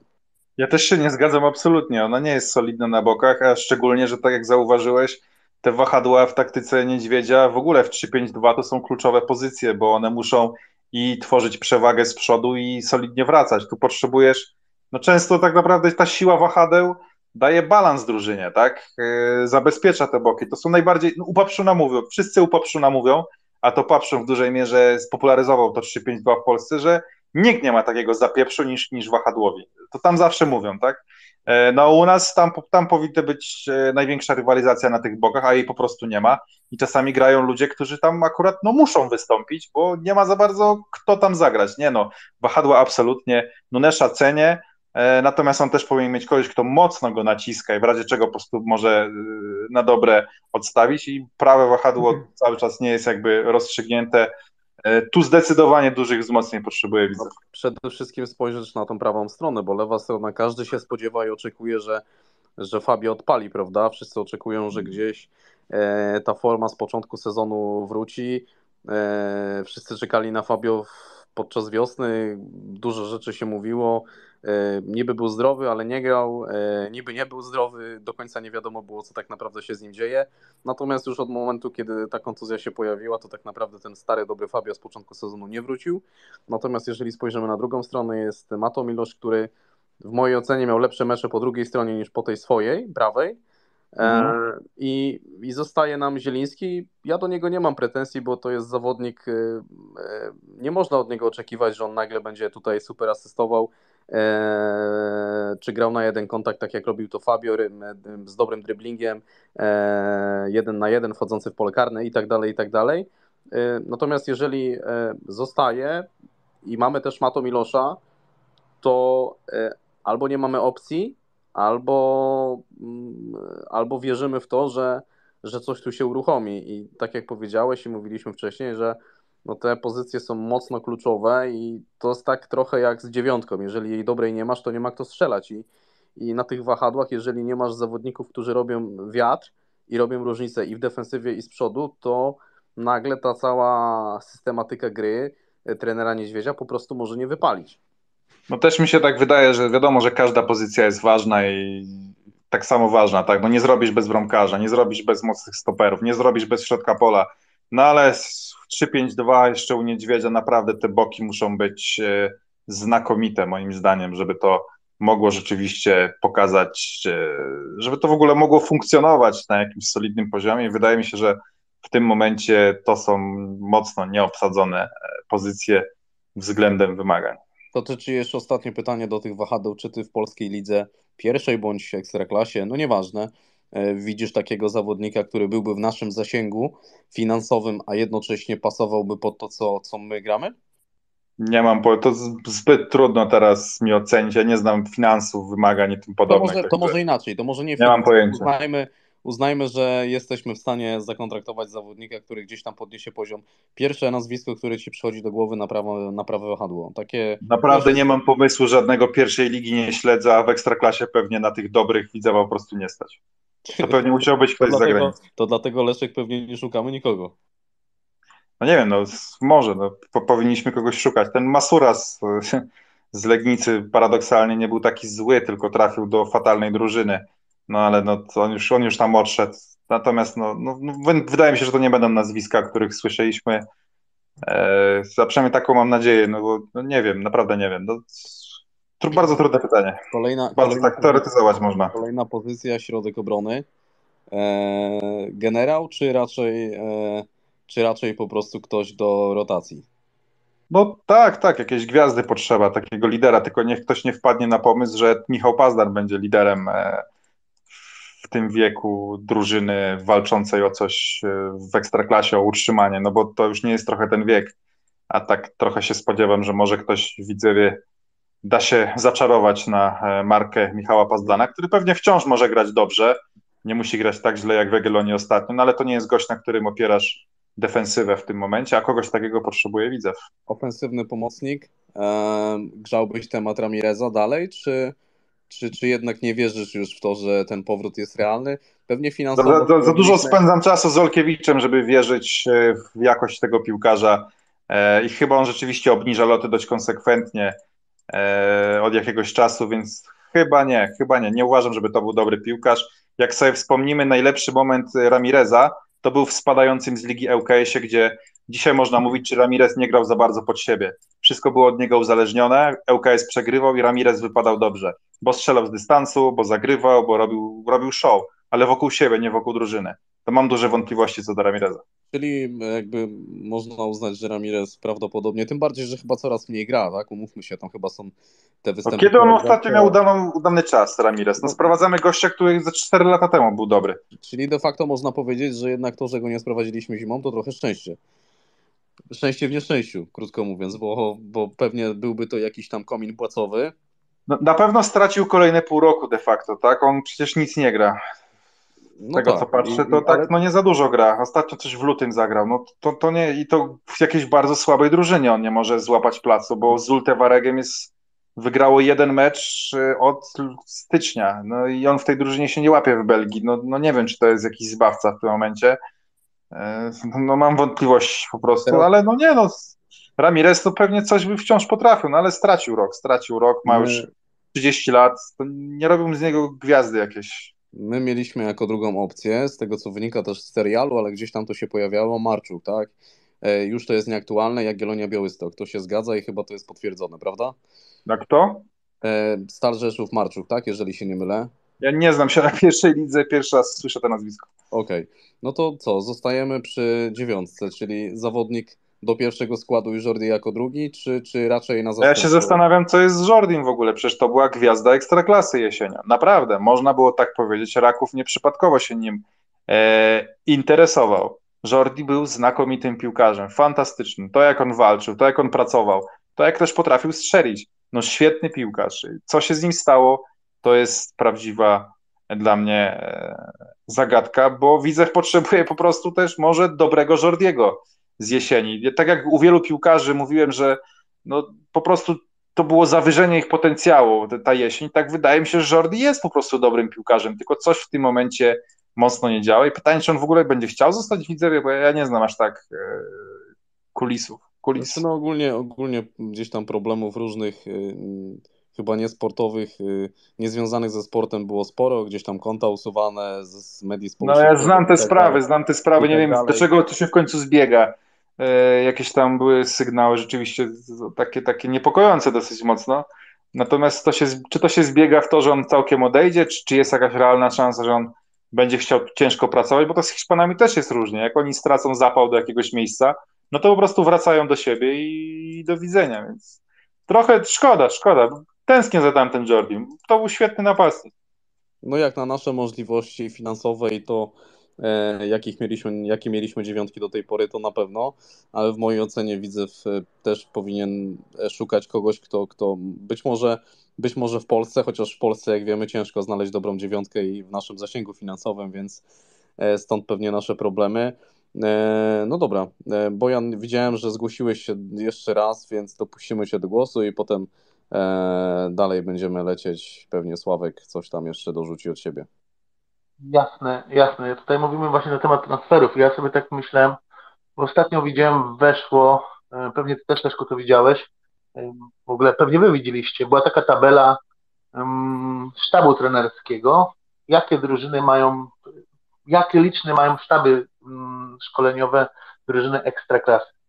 No i na pierwszym miejscu tam był e, Raków i Legia Warszawa, gdzie pozycje tak samo są równoznaczne do tego.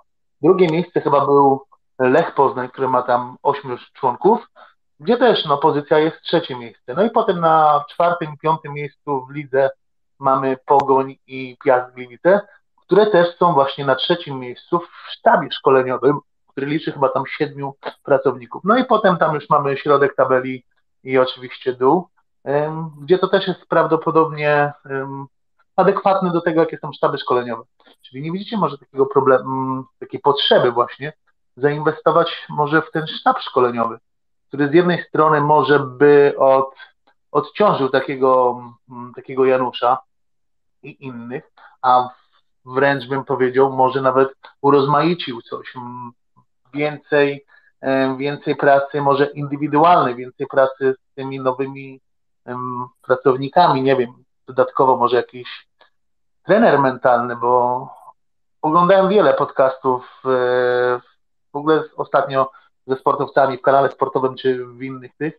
I większość tych sportowców, takich można powiedzieć sportowców, sportowców, bo takiego uważam Piszka, otwarcie mówią, że praca z osobą mentalną to, to jest podstawa, to, to jest zupełnie inny level już potem sportu. Jak byś do tego odniesiecie? No na pewno sztaby dzisiaj Raków pokazał. Wielką siłą Rakowa jest nie tylko, nie wiem, pomysł taktyczny Papszuna czy dobrzy piłkarze, ale właśnie ten sztab, gdzie naprawdę są ludzie z deduktora, gdzie jest bardzo głębokie wejście w analizę rywali, to wszystko ewidentnie robi różnicę i no i tu też znowu wracamy do tych fundamentów, do struktur, e, że to, to jak najbardziej też e, w tym momencie być może te, te standardy w Widzewie, jeśli chodzi o sztab, jeśli chodzi o liczbę analityków i tak dalej, no to jest poniżej e, średniej ekstraklasowej. Jak najbardziej to jest ważny temat. Nie samymi piłkarzami, ale właśnie analizą można bardzo wiele wygrać.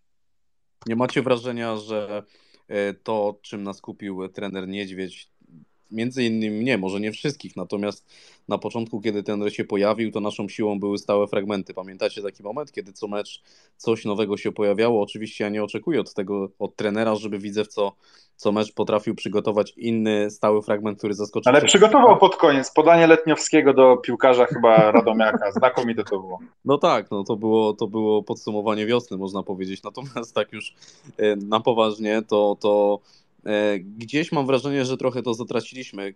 Paru kibiców w przeciągu całego sezonu wspominało o tym na Twitterze, że czy, czy nie byłoby dobrym pomysłem, żeby zatrudnić fachowca, a mamy takich w Polsce, od stałych fragmentów. Nawet jest, jest pewna osoba na Twitterze, już nie pamiętam, nie chcę tutaj rzucić nazwiska. Michał Matek pewnie.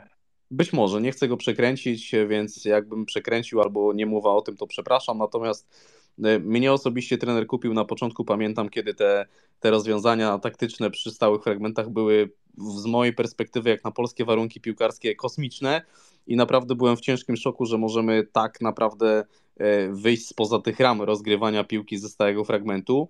I mam wrażenie, że my gdzieś po prostu stanęliśmy. Nawet sam trener zapowiadał, że my co, co mecz będziemy w stanie będziemy starali się przygotowywać nowe rozwiązania, natomiast gdzieś to między tą pierwszą ligą a ekstraklasą e, po prostu zostało zmazane, zrzucone z planszy i, już nie potrafimy zaskoczyć tak naprawdę. Wygląda to, zdarza się oczywiście jak najbardziej, natomiast e, myślę, że tutaj jeszcze jest dużo pokładów e, w rezerwie takich, gdzie moglibyśmy się bardzo rozwinąć i troszkę pójść w tym kierunku, bo wydaje mi się, że te drużyny, które może nie mają takiej jakości E, w indywidualnie, jak zawodnicy typu Josue Legia, czy, czy Grosicki, e, czy, czy, czy, czy chociażby dwóch najlepszych strzelców z Jagiellonii, gdzie była mowa o tym wcześniej, że mają dwóch strzelców, którzy strzelają 20 parę bramek, a, a, a nie są nawet e, w pierwszej szóstce. To czy, czy nie macie wrażenia właśnie, że tutaj są pokłady Mm, jeszcze dużo, dużo pracy, której można wykonać, zatrudnić właśnie, tak jak Bojan wspomniał, kogoś, kogoś kto, kto ma troszkę większą wizję, te, te spojrzenie z innej perspektywy, bo wydaje mi się, że takie zespoły właśnie, które gdzieś tam są zamieszane, może nie, mam nadzieję, że nie w walkę o, o utrzymanie w przyszłym sezonie, ale, ale w taką walkę w środku tabeli, to właśnie te detale, stałe fragmenty, bramki gdzieś ze stałych fragmentów, czy po rzutach wolnych, no tutaj Bartek troszkę naciągał tą statystykę, natomiast E, to są strzały na bramkę i oczywiście ze stałego fragmentu, natomiast chodzi mi o ogół, że wydaje mi się, że tutaj są jeszcze duże pokłady e, niewykorzystane. No tak, wypada się tylko zgodzić, jak najbardziej ekspert stałych fragmentów by nie zawadził w tym sztabie. A ja może pociągnę jeszcze ten temat, e, bo po tych ostatnich porażkach i szczególnie te, które pewno kibiców bolało najbardziej, czyli w sercu Łodzi, też przelała się taka dyskusja. Czasami można było poczytać na, na Twitterze, że, że dużo było takich kibiców, którzy wręcz chcieli, żeby zmienić trenera w Widzewie. Ja przyznam szczerze, że jestem zwolennikiem takiej ciągłości pracy i uważam, że e, trener Niedźwiedź to jest taki trener, który dopiero jest drugi sezon, można powiedzieć, na tych najwyższych szczeblach rozgrywkowych w Polsce, bo pierwszy rok w pierwszej lidze jednak awans, pierwszy rok w Ekstraklasie jednak utrzymanie z, z drużyną, powiedzmy sobie, materiałem ludzkim jakimś nie, nie, nie, nie, niewielkim. E, I, I jestem zwolennikiem tego, że trener Niedźwiedź, gdy dostanie lepsze narzędzia, to, to, to pokaże, pokaże jeszcze ten niedźwiedzi pazur. A jak się zapatrujesz w ogóle na, na, na tego szkoleniowca, Leszku? W sensie dokładnie jak? Czy, czy widzę dalej Janusza Niedźwiedzia?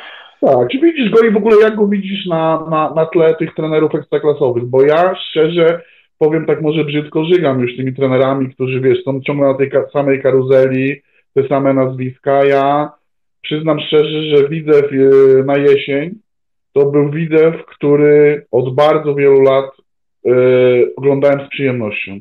To ja jeszcze dodam do tego pytania, Sławku, przepraszam tylko, czy, czy też miałeś taką chwilę zwątpienia na wiosnę, że jednak coś tutaj nie gra i do końca e, nie jesteś pewny, że, że być może to jest ta droga, którą widzę powinien obrać i y, czy, czy, czy nie miałeś takiego momentu, że rozglądałbyś się za kimś innym? Nie, wystarczy już tych zmian, jest tyle chaosu, widzę tyle zmian, że jeszcze tylko brakuje nam zmiany trenera i żeby to wszystko budować od nowa. Nie, bez przesady. Zostawmy, zostawmy Janusza Niedźwiedzia, E, nawet jeśli oczywiście, że nie ma co być, że dołożył swoją cegiełkę do tego, że do rekordu e, porażek i do tej fatalnej wiosny, to, to nie można mu tego odbierać, tego wstydu nie można mu odbierać, natomiast no, też jest dostatecznie dużo, cel został zrealizowany, Widzew się utrzymał, e, Widzew dostarczył dostatecznie wiele też dobrych chwil, nie odbierajmy mu tego wszystkiego już teraz, szukając jakichś zmian, trochę, trochę stabilności. Widzę, potrzebuje stabilności, której nie ma. Cały czas. Cały czas jest coś. No w ogóle y, to jest ciekawe, że trener Niedźwiedź będzie najdłużej pracującym zespole, y, najdłużej y, pracującym trenerem w nie wiem czy tylko w ekstraklasowym, być może i pierwszoligowym trenerem, który najdłużej pracuje, chyba już teraz będzie trzeci sezon, więc tak naprawdę to jest w ogóle paradoks, że... że nie, nie, pierwszoligowy nie, sorry, że wtrącę. Pierwszoligowy no, audyt w puszczy nie pomóc. Dlatego, dlatego powiedziałem, że nie jestem pewny, wspomniałem o Ekstraklasie. E, no dużo to nie zmienia, to tylko pokazuje, jakie ruchy są e, e, dokonywane w polskich zespołach, głównie w Ekstraklasie, kiedy coś się idzie, to się to zmienia. Ja osobiście powiem, że nieraz miałem wątpliwości, natomiast mm, w pierwszej lidze byłem załamany tym, co pokazywaliśmy na wiosnę, no ale awansowaliśmy, gdzieś ta moja merytoryka w stronę trenera bardzo się zmieniła, uznałem, że jednak trzeba dać mu szansę i tak jak Sławek powiedział na jesień, to ja też widziałem widzę, w których... Chciałeś go zwalniać po awansie? Nie, nie, nie, nie po awansie, okay, ale, miał, ale miał, nie, nie, nie, bardziej miałem tutaj duże obiekcje do tego, co się działo, wiesz, na tą wiosnę, no niekoniecznie, e, niekoniecznie dobrą, ta wiosna teraz na Ekstraklasę też troszkę się powtarza, e, e, natomiast e, muszę powiedzieć, że mm, od dłuższego czasu trenera bronię, mimo że miałem chwilę zwątpienia teraz e, na tą wiosnę, no sześć porażek u siebie na Widzewie, to naprawdę uważam, że troszkę wstyd, E, natomiast e, obejrzałem sobie wczoraj w nocy, w sumie dzisiaj o trzeciej w nocy ten odcinek pierwszy. Ty pewnie widziałeś e, pierwsze dwa, jeżeli się nie mylę. Nie, bo miałem coś ważniejszego, czyli spędzanie czasu z córką i żoną i nie poszedłem A, na premierę. Okej, okay. no to czyli jesteśmy na tym samym etapie. Rozumiem, że pierwszy odcinek obejrzałeś. Jeszcze nie, nie miałem czasu. No to, to ja tylko mogę powiedzieć, że po tym odcinku e, jestem jeszcze bardziej za trenerem i jeszcze bardziej go dopinguję, bo uważam, że Mam nadzieję, że to, co jest pokazane w serialu, bardzo odzwierciedla to, co się, to, co się dzieje i to, jak wygląda. I, i w mojej perspektywie, to jak ja to widzę, to po prostu trener potrzebuje zawodników, którzy potrafią dotrzymać mu tempa, że tak powiem. E, I, i, i, potrafią zrozumieć jego wizję gry, która jest oparta na wysokim pressingu, przede wszystkim zapieprzaniu e, od pierwszej do 90 minuty i mam nadzieję, że trener będzie miał jak najdłuższą możliwość pracy w Widzewie, wymieniania tych słabszych ogniw, tak jak zrobił Marek Papszon w Rakowie. E, I, i, I gdzieś to będzie szło w kierunku tego, że ten Widzew będzie coraz lepszy, bo umówmy się, no jeszcze raz powiem to, że Widzew z jesieni to był pierwszy Widzew od dawien dawna, który naprawdę cieszył oko na tle rywali, którzy przed sezonem większość wskazywała nas po prostu w tych spotkaniach na porażkę.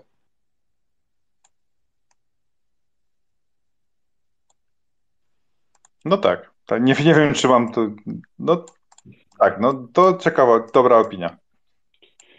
E, ale że tak byśmy sobie już spojrzeli globalnie na, na, na ten sezon, który się zakończył, to jak według Ciebie, Leszku, to wygląda? Takie największe, e, może odkrycie tego sezonu, może i plus, coś takiego na plus największego, które się według Ciebie wydarzyło w Widzewie, czy to zawodnik na boisku i i takie samo rozczarowanie. Kto cię najbardziej rozczarował może w tej drużynie? Co na przykład myślałeś sobie, no ten chłop to może da radę, a jednak okazało się, że nie, nie, nie dojechał.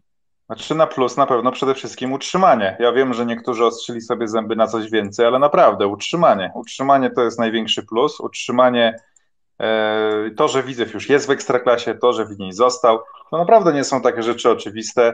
Patrząc na to, że Widzew jest klubem, który nie ma za bardzo gdzie trenować, który ma dość krótką kadrę, krótką ławkę i wiosna pokazała, no zobaczcie, Korona Kielce przyjechała do Widzy do Łodzi jako drużyna walcząca o utrzymanie do ostatniej kolejki, zezłomowała ten Widzew.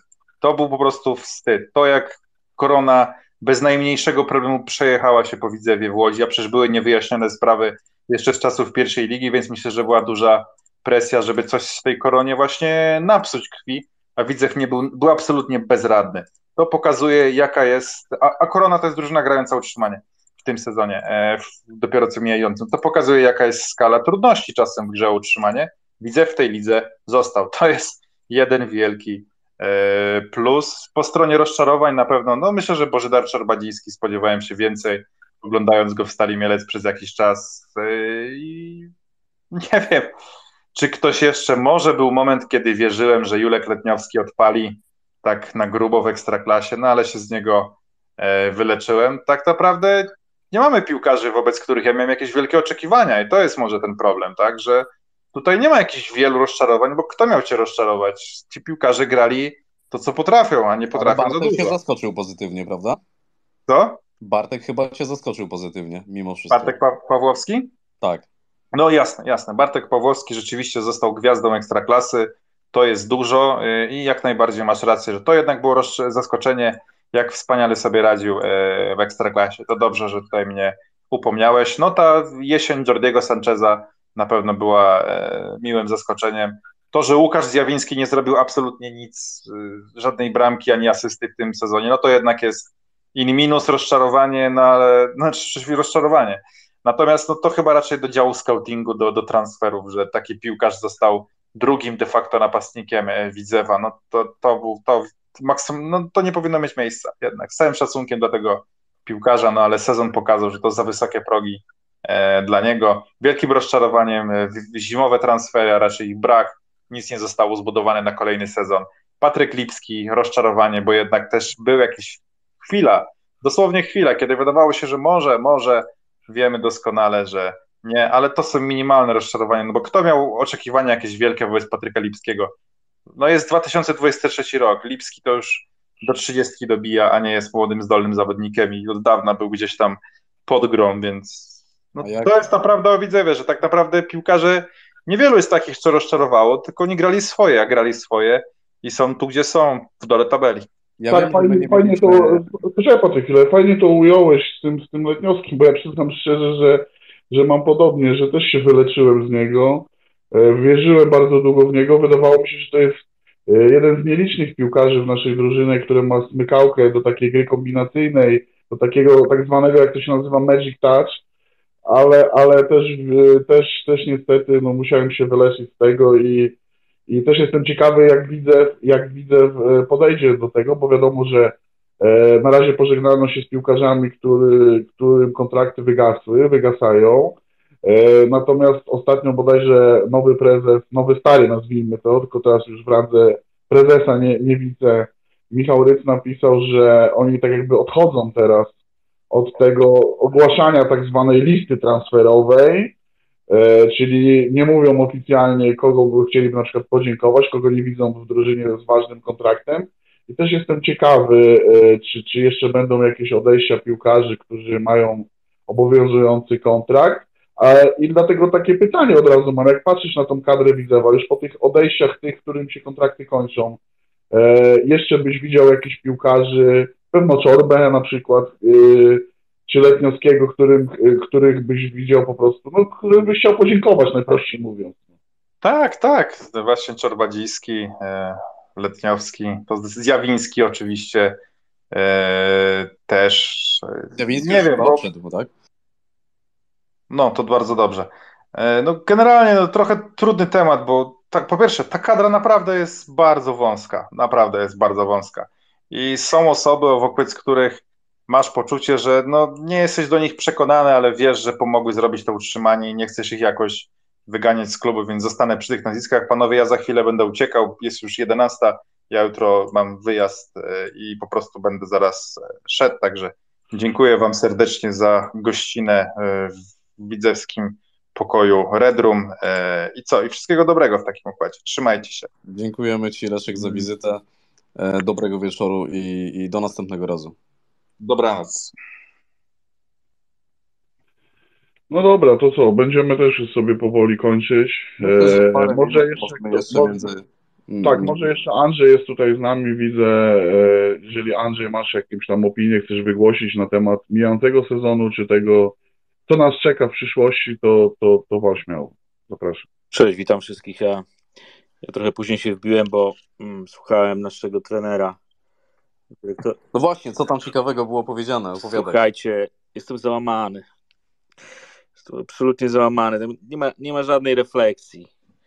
To jest. E, to jest. E, to jest absolutny brak uderzenie ci w... Przepraszam, Andrzej, Andrzej, ja aż wejdę w słowo, to panowie, to pociągnijmy sobie te 15-20 minut, może są kibice, którzy słuchali e, właśnie słów pana dyrektora i pana trenera, e, to może byśmy sobie to omówili, jeżeli ktoś to słuchał od początku, od dechy do dechy, to, to dawajcie, to pogadamy sobie parę minut na ten temat i będziemy wtedy, nie wiem, może za pół godziny kończyć, jeżeli będzie żarło, jeżeli nie, no to parę słów o tym i, i kończymy. Nie no, tamten format w ogóle jest komedią, bo, bo Kuba niestety pomija trudne pytania, na przykład takie oczywiste pytanie o stałe fragmenty gry w ogóle nie padło. Było tych pytań zadawanych na Twitterze. przecież o te e, rogi i tak dalej, to, to w ogóle jest skrupulatnie, skrupulatnie pominięte. No jest nadzieja, ponieważ będzie wzmocniony jednak sztab trenerski. Nie radzimy sobie z takim prostym elementem jak rzut rożny, e, więc e, Janusz powiedział, że, e, że są prowadzone rozmowy z kandydatem, aczkolwiek nie, nie wiemy, czy to, czy to będzie człowiek od całych fragmentów gry, no ale jakoś tam chcą wzmocnić, wzmocnić sztab trenerski. To jest jedyny pozytyw. A poza tym to jest, to jest, to jest taka bańka. No. E, żeby wam podać przykłady, na przykład tam padło pytanie o Czubaka, to już jest taki, no wiadomo, samogra i dróż za to przepraszam, więc to już jest temat zamknięty, ale jaka jest odpowiedź Niedźwiedzia? E, Czubak odszedł z klubu, e, a powód był taki, że miał naderwany mięsień. Miał naderwany mięsień i odszedł z klubu. Czyli nie, nie była to jak gdyby nasza, sugestia jest taka, że to była decyzja piłkarza. No to wiem, że tak nie było, no ale to jak gdyby to jest jeden, jedna rzecz. No a ogólnie tam słabe wyniki na, na wiosnę były tłumaczone splotem okoliczności, wirusem. No to akurat ten, ten, ten, ten argument można przyjąć, bo, bo tam było po, po meczu z Lechem nieciekawie w drużynie yy, i brakiem skuteczności. No i tak, ale jak tam dociskał trochę Kuba o to, czy jakieś czy czegoś się nauczyliśmy od innych trenerów albo od piłkarzy, albo jakie tam, co zrobilibyśmy inaczej, to tego zero konkretów. Także no liczyłem, no runda jest za nami, nie była udana. Ogólnie program Andrzej był nagrywany, nagrany, prawda?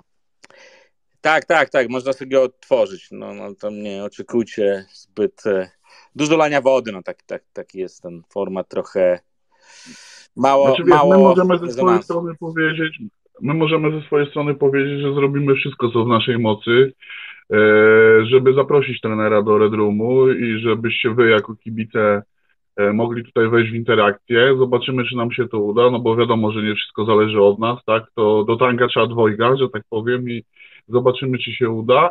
Natomiast bardzo byśmy chcieli, żeby trener zagościł, zagościł tutaj u nas i, i wtedy może sobie porozmawiamy umówmy, bardziej dogłębnie. Umówmy się, że my jak zapraszamy kogoś do Red Roomu, to raczej tutaj jest lawina pytań. Yy, od herbaty po, kol, po ulubiony kolor, kończąc na, na wszystkim, co związane z zespołem i klubem, funkcjonowaniem jego. Także myślę, że jak ktoś się tutaj u nas pojawia, to raczej nie ma, nie ma lipy. I, I z reguły wychodzi to całkiem nieźle, dlatego na pewno będziemy starać się i robić wszystko, żeby pojawili się no, nowi oficjele i, i też oczywiście trener, bo trenera u nas jeszcze w Redrumie nie było i, i będziemy, będziemy kręcić temat, żeby to się udało. Natomiast jeżeli chodzi, ja nie oglądałem niestety programu z racji tego, że no, gdzieś e, cały czas kręciliśmy temat Red Roomu na dzisiejszy, to wszystko się pojawiło z Nienacka. Całe szczęście, że to fajnie z naszej strony wyszło i wręcz bym powiedział, że bardzo dobrze. E, mimo tego, że, że ten, ten talk show był w międzyczasie, nakładaliśmy po prostu jedną audycję na drugą. Oczywiście no, klubowa jest ważniejsza, nie ma co do tego wątpliwości. E, natomiast no, ja nie miałem możliwości odsłuchania, no bo był tutaj Redrum i, i to było dla mnie priorytetem. E, co ja mogę powiedzieć do tego, co powiedziałeś? No ja szczerze mówiąc do programów, które gdzieś tam są nagrane wcześniej, no umówmy się, jest to jakiś pewien format, który, e, który jednym będzie odpowiadał, drugim nie do końca, tak? E, e, wiadomo, że do pewnych rzeczy, do pewnych pytań można się w jakiś sposób przygotować, e, gdzieś na pewno w jakiś sposób te pytania już można sobie wcześniej przejrzeć i oczywiście ja to rozumiem, że że, że, że no, trener też chce mieć jakiś tam e, zakres odpowiedzi na różne, na różne mniej wygodne pytania. Na pewno się takie pojawiały, no bo mm, wiosna nie zaciekawa no- i każdy kibic. Słucham? jasne, jasne, nie, oczywiście. Natomiast wiesz, no to też jest tak, że nie można jak gdyby wkładać w głowy w piasek. Nie? No, stałe fragmenty gry to był taki leitmotiv. I żeby wam jeszcze podać, e, jakby przedstawić, jak to wyglądało, to na przykład jednym z argumentów, to tam Janusz podawał, jak gdyby w kontekście jednak tego, że tylko połowa tej rundy wiosennej była nieudana, no bo do, on twierdził, że do Lecha graliśmy, graliśmy dobrze, były dobre statystyki, brakowało nam szczęścia. E, podał ten argument dystansu w całym sezonie, że jesteśmy w absolutnej czołówce w dystansie pokonanym w całym sezonie. I to jest oczywiście prawda, bo, bo jesienią byliśmy w ogóle chyba z Rekowem jakoś egzekwo na, na pierwszym spocie, albo wybijaliśmy się pozytywnie. Wiosną już to tak nie wyglądało, ale to też jak gdyby to jest taki argument, bo nie wiem, czy wiecie, która drużyna miała najdłuższy pokonany dystans w całym, w całym sezonie. To może. Raków albo my? Wisła Płock. Okay. Wiesz, to też nic nie mówi, nie? Bo, bo, bo Raków był drugi, my byliśmy na trzecim miejscu, prawda? Ale to też pokazuje, że wiesz, to trochę zdaję sobie sprawę, że wiesz, że, że tu musi się poprawić zdecydowanie na, na, na jesień, bo, bo używa takich bardzo wybiórczych argumentów, a unika takich naprawdę trudnych tematów, no jak stałe fragmenty, nie? które są, nie są takie trudne do wdrożenia. No, słabsze drużyny od nas seryjnie ładowały bramki po, po rogach, a u nas to po prostu no, no był kompletny dramat i, i takich, dyskusji nie można unikać. No ale ja... Mam nadzieję, że. A jeżeli chodzi o transfery, Andrzej, było coś konkretnego, czy, czy raczej nic się mocnego nie pojawiło i tylko były podane pozycje, czyli ofensywny pomocnik, napastnik, e, obrońca i dwóch młodzieżowców? Tak, tak? dokładnie tak. Dokładnie czy, tak. Napastnik, ofensywny pomocnik, obrońca i, i temat młodzieżowy był podany. Nic konkretnego. Odejście Krojca było skomentowane w ten sposób, że no, był długo w drużynie potrzebują tutaj nowego otwarcia trochę, potrzebują Polaka bardziej do tej formacji obronnej, więc też kwestia chyba komunikacji. E, to tylko był taki jeden ciekawy wątek, ale nic na temat nowych e, transferów. Szczelny jest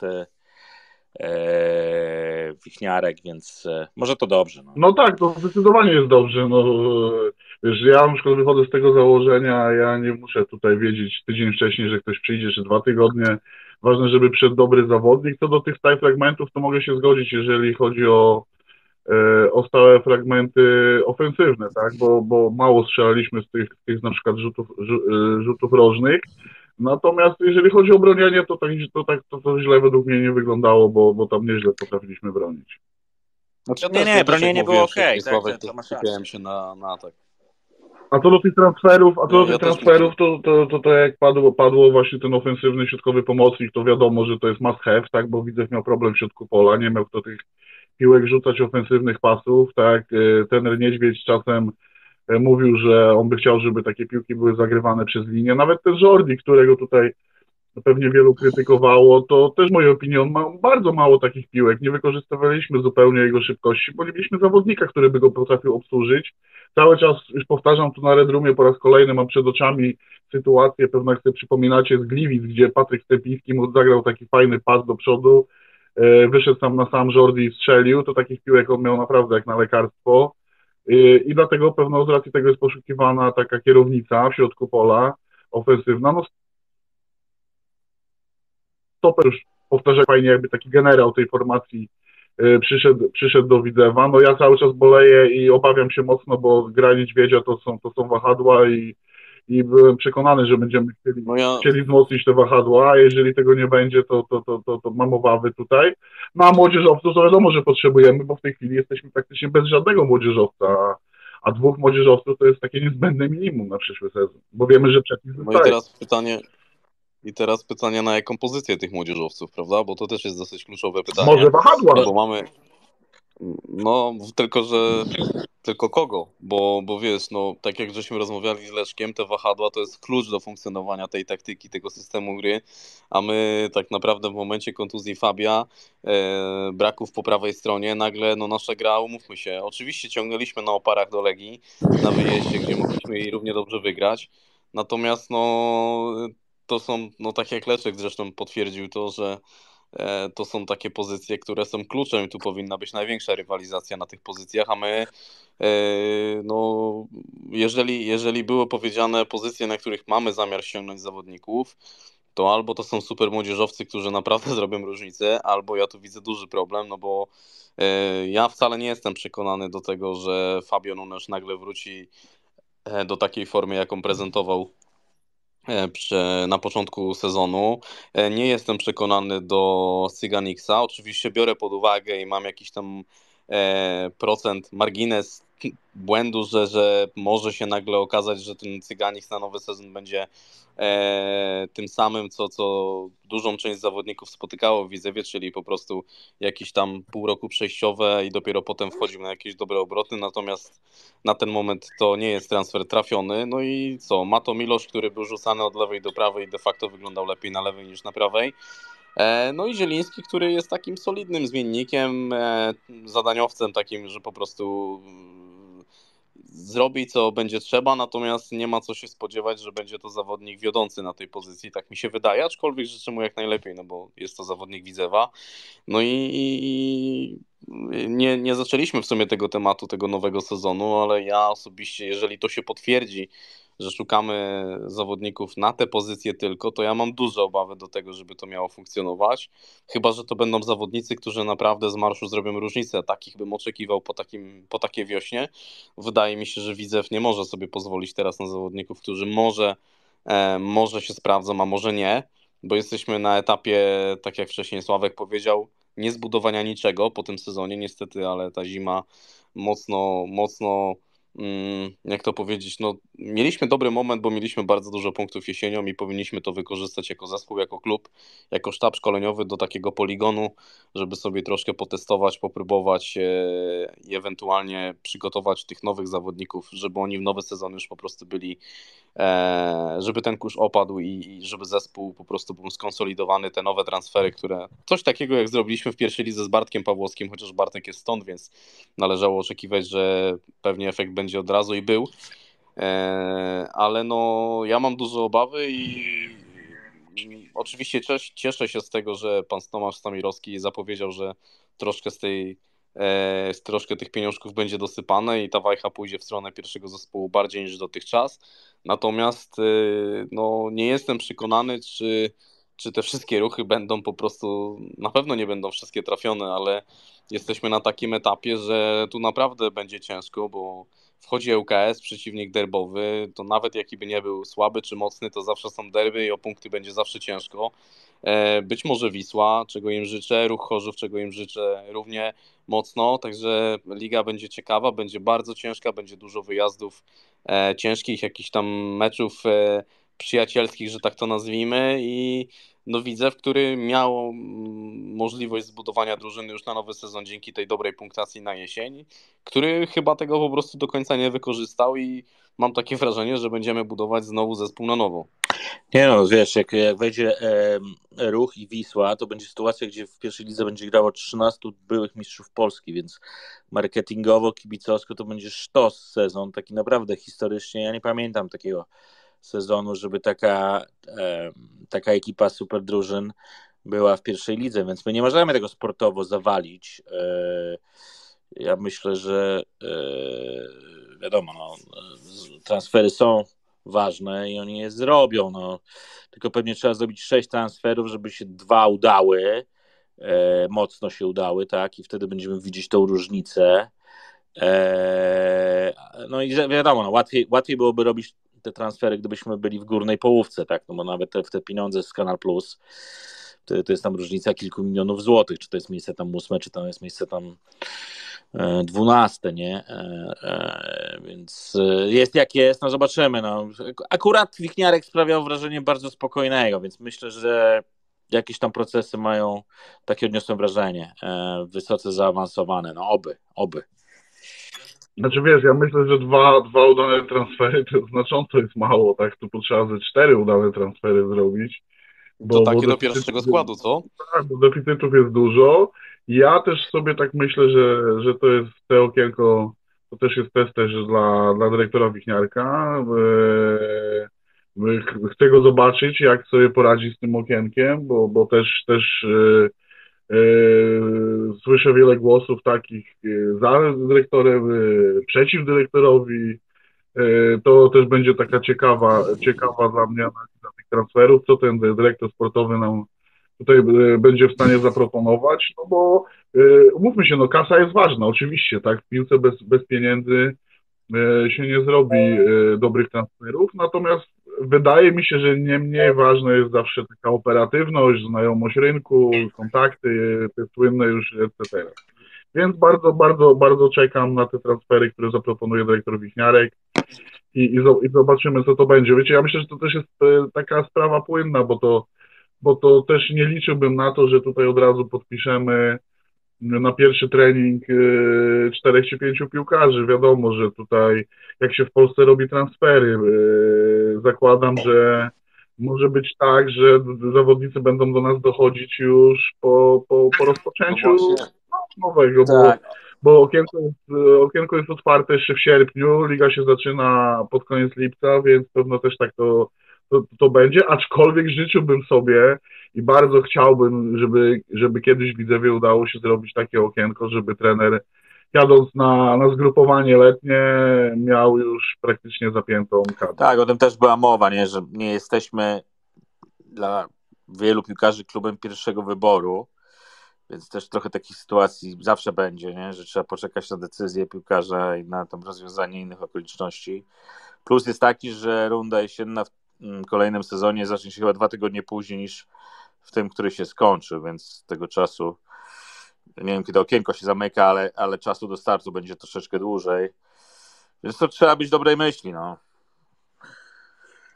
Znaczy ja powiem tak, że dla mnie osobiście e, wyznacznikiem, wyznacznikiem tego, co, co, co się wydarzy, no to będzie tak naprawdę kolejny dobry transfer do klubu. Oczekuję, że Widzew przede wszystkim postawi na jakość, a nie na ilość. Oczywiście uważam, że w tej drużynie tak jak Sławek powiedział, cztery transfery y, to jest takie minimum według mnie, no bo oczywiście potrzebujemy zawodników do pierwszego składu, ale też potrzebujemy zawodników do, na ławkę, bo umówmy się, że ta ławka no, no nie była e, imponująca przede wszystkim wiosną i bardzo często była mowa o tym, że gdzieś ta, ten pierwszy skład jeszcze jako tako wygląda i daje radę, ale jak przychodzi zmęczenie, kontuzje i zmiany w trakcie meczu, to już to nie wygląda dobrze, obiecująco. E, I po prostu większość tych zawodników y, nie dojeżdżała już, nie ma co tutaj personalnie pastwić się na nazwiskami e, nad zawodnikami, którzy byli w Widzewie, odeszli, czy, czy dalej są w klubie, bo to nie o to w tym chodzi, ale ale no ławka też jest istotna, umówmy się, tak, że, że na pewno pojawią się kontuzje, pojawią się kartki, pojawią się różne sytuacje, które nie jesteś, których nie jesteśmy w stanie przewidzieć.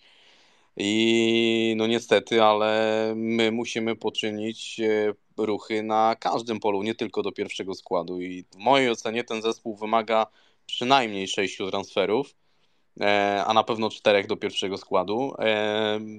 E, nie rozumiem, mam nadzieję, nie rozumiem braku wspo wspominki, że tak powiem, o, o wahadłach. Mam nadzieję, że tutaj mamy coś przygotowanego ekstra, bo w mojej ocenie jest to, no jest to pozycja klucz i jeżeli ona nie funkcjonuje, to nasz zespół też traci bardzo dużo. E, jeżeli mamy młodzieżowców, gdzieś jest jakiś cel numer jeden, e, przepraszam, ale coś tu się u mnie dzieje.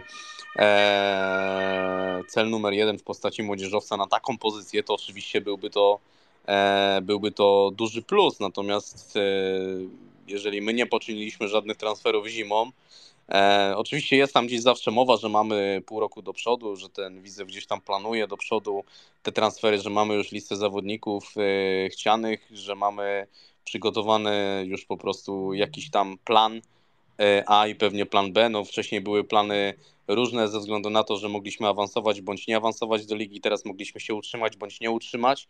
E, natomiast no mm, tak jak Sławek wspomniał, ja życzyłbym sobie i pewnie wielu kibiców, żeby, żeby przyszli do nas zawodnicy, którzy po prostu wchodzą do składu i grają. Tak? Oczywiście za jakość się płaci e, i nie ma nic za darmo i, i koszta będą rosnąć i, i pan Stamirowski też chyba to zrozumiał, że, że ta liga wcale łatwa taka nie jest i trzeba sobie troszkę więcej e, pozwolić na, na tej takiej tego luzu finansowego w, w aspekcie pierwszej drużyny. E, no i niestety, ale jeżeli takich ruchów nie będzie, konkretnych, jakościowych, to obawiam się, że może być bardzo ciężko. Wchodzi ŁKS, który na pewno gdzieś tam e, myślę, że będzie też chciał się utrzymać jak każdy wchodzący do Ekstraklasy, no ale oni mieli już przygodę swoją z Ekstraklasą e, nie do końca udaną. Wydaje mi się, że pan Salski na pewno gdzieś tam będzie chciał wyciągnąć wnioski z tego pierwszego sezonu, z tego awansu, który się wtedy pojawił i E, no, gdzieś tam się pojawiają różne nazwiska. Spadła Wisła, w której jest paru fajnych, ciekawych zawodników. Jest, jest Wolski przede wszystkim, o którym sobie tutaj prywatnie rozmawialiśmy e, z Zizu i ja na przykład takiego Wolskiego i Zizu pewnie też widzielibyśmy w Widzewie na właśnie takiej dziesiątce z Bartkiem Pawłowskim.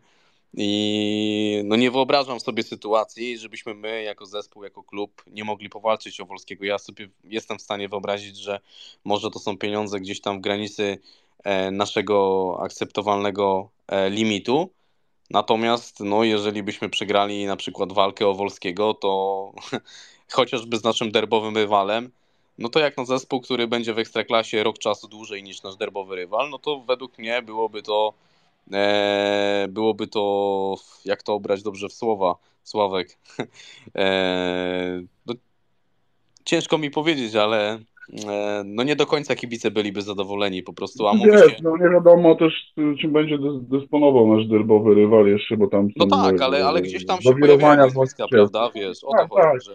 Zostawmy, zostawmy to, niech oni się martwią o siebie, my martwimy się o siebie. Ja natomiast tak na logikę patrząc, to to widzę, że my te wahadła mamy pozamykane, przynajmniej tak to wygląda w tej chwili, no bo mamy Mato Milosza i, i Pawła Zielińskiego, który nie, nie był ogłoszony jako piłkarz, y, któremu się kończy kontrakt, a przecież Pawłowi się kończy kontrakt, więc klub prawdopodobnie, jeżeli go nie ogłosił, to, to prawdopodobnie planuje przedłużenie z Pawłem kontraktu i Pawła będziemy oglądali w przyszłym sezonie w Widzewie, więc na prawej stronie mamy Mato Milosza i Pawła Zielińskiego, na lewej stronie mamy Cyganiksa i Fabio Nunesa, więc nie wygląda na to, że żujemy jednak transferów na, na, na wahadła, aczkolwiek mówię, no to rynek transferowy, okienka są płynne i tutaj y, czasami, czasami e, potrzeba jest matką wynalazków i nie wiem, no różne rzeczy mogą się jeszcze wydarzyć, jest okres przygotowawczy, więc no co, no będziemy się spokojnie temu wszystkiemu przyglądać. Miejmy nadzieję, że dyrektor Wichniarek tutaj E, będzie królem polowania letniego i pokaże nam się z dobrej strony. Będziemy się wszyscy cieszyli, że mamy takiego fajnego, operatywnego dyrektora sportowego w Widzewie, czego nam wszystkim życzę.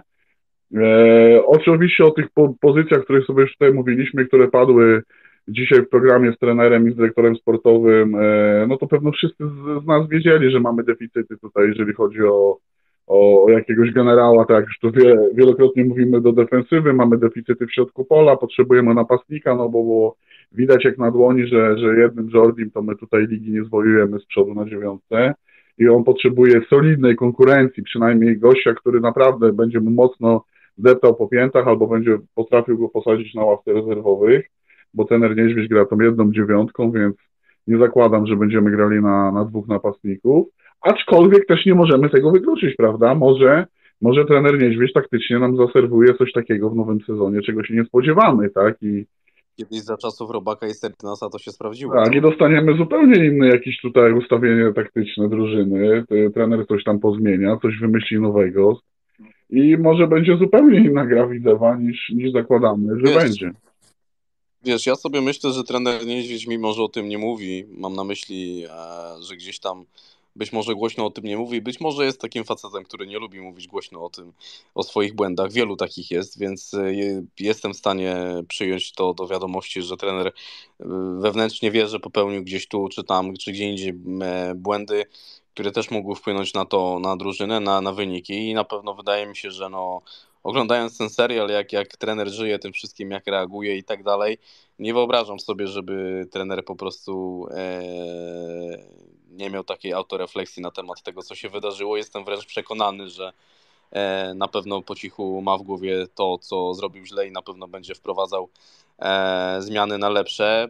Oczywiście w, ramach możliwości tego, co klub e, zaoferuje no, to Generalnie jest tak, że, że sorry, że ci wejdę słowo, generalnie jest tak, że ja nie mam z tym problemu. Tutaj, co mówił wcześniej e, kibic Andrzej, że, że, że trener nie potrafi się przyznać do błędu. Ja nie mam z tym problemu. Ja nie potrzebuję tego jako kibic Widzewa, żeby trener wyszedł na forum publiczne i publicznie biczował się i, i opowiadał o tym, co on zrobił źle.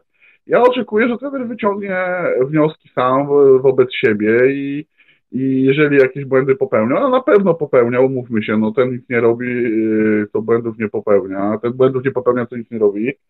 Sorry, już późna godzina. Także nie oczekuję od trenera, żeby publicznie mówił tutaj nam, że ja zrobiłem to źle czy tamto, żeby nam tutaj wymieniał w punktach. Absolutnie dla mnie jest kluczowe to, żeby trener sobie sam przed sobą te, te wnioski wyciągnął i tych błędów, które pewnie popełniał, żeby już nie, nie, nie robił i, i tyle, no, bo, bo e, oczywiście, no może ktoś, ktoś tego oczekiwać, może ktoś się, nie wiem, czujesz dowartościowany, że trener wyjdzie i powie, ja tutaj zrobiłem coś złego, tu widzę swoje błędy, tam widzę. Ja tego zupełnie nie oczekuję. Dla mnie wartością jest to, że, że drużyna będzie wyglądać lepiej i, i tylko na to liczę. Słuchaj, jest, jest z nami widzewski charakter, także dopuśćmy jeszcze na te parę minut e, do głosu.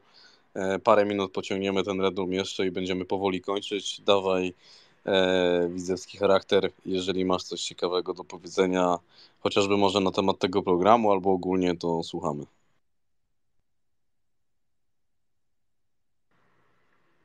No. I to by było chyba na tyle. Nie wiem, czy, czy mnie słyszysz, czy nas słyszysz, ale masz mikrofon? O, masz mikrofon, dobra, okej. Okay. No, dobry wieczór. Dzięki Patryk, dzięki za zaproszenie. Yy, no, wywołałeś mnie, bo słucham, nie? Wiesz co, masz chyba jakieś opóźnienie. Mam i mówię, ale jest z opóźnieniem, bo mam na laptopie was i jeszcze na telefonie. No, ale to musisz laptop, laptopa. musisz laptop zmutować i tylko mówisz do telefonu i słuchać w telefonie.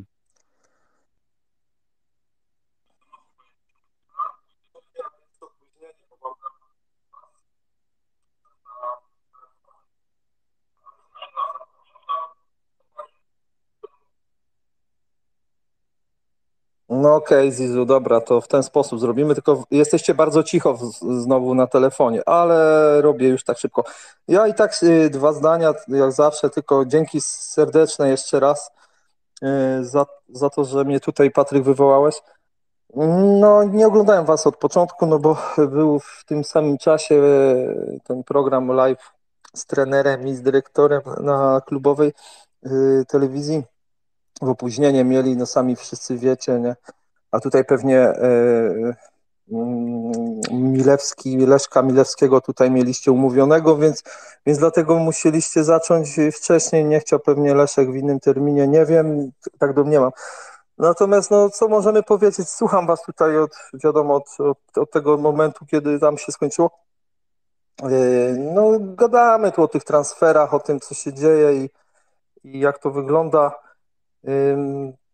Co można powiedzieć? No, trzeba wzmocnić, tak jak tutaj właśnie mówicie, że 4-6 transferów y, i to ja sobie wyobrażam, że to będą transfery z naszej ekstraklasy albo ze Spadkowiczów, ewentualnie jakiś, jakiś zawodników może z Arki spod Beskidzia, no, z takich czołowych drużyn z pierwszej ligi, że się naprawdę trochę wykosztujemy. Mimo wszystko zainwestujemy w drużynę, skoro mają być pieniądze niby przesunięte tutaj z akademii, tak jak pan Stamirowski powiedział.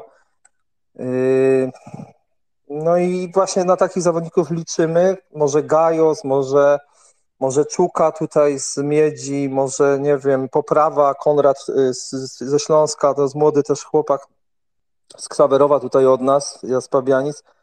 Więc e, no fajnie by było, ale to są takie trochę marzenia, nie? żebyśmy takie transfery zrobili, a nie no-name'ów jakichś, że będziemy szukać gdzieś po jakichś ligach. No wiadomo, że ci Hiszpanie coś tam potrafią, coś można trafić, ale to jest wszystko niezaprawione w bojach w naszej lidze. Tu się może dużo takich no-name'ów odbić od tej ligi.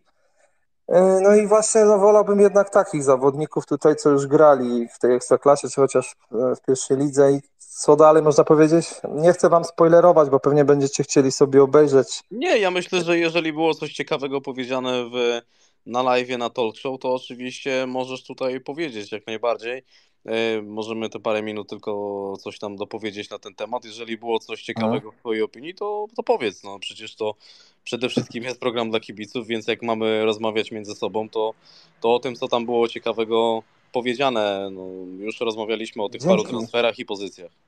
No tak, tylko wiesz, zapytałem Patryk, czy, czy, czy może ktoś może nie chce tego słuchać, no najwyżej się wyciszy, nie? bo będzie chciał sobie odsłuchać live.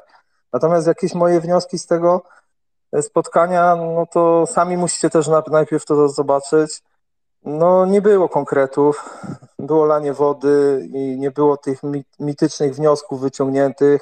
Ja zadałem wczoraj tam właśnie na stronie klubowej też pytania, no, po części trener właśnie odpowiedział, że były warunki nie, niedobre tutaj do treningu i że no właśnie tak mimochodem o tym przemycił, ale trener zestresowany generalnie tam siedział i odebrałem to w ten sposób, że no tak PR-owo mocno pan Wichniarek sam też stwierdził, że jednak jakościowi zawodnicy są potrzebni, także to też na plus, ale to też tak naprawdę tak mimochodem. I nie było tak to rozkręcone, żeby można było powiedzieć coś tam więcej, że rzeczywiście e, drużyna słabo wyglądała wiosną, bo, bo te treningi po powrocie z Turcji, e, tutaj treningowe u nas były wręcz nie do zaakceptowania na, na poziom ekstraklasy, nawet chyba pierwszej ligi.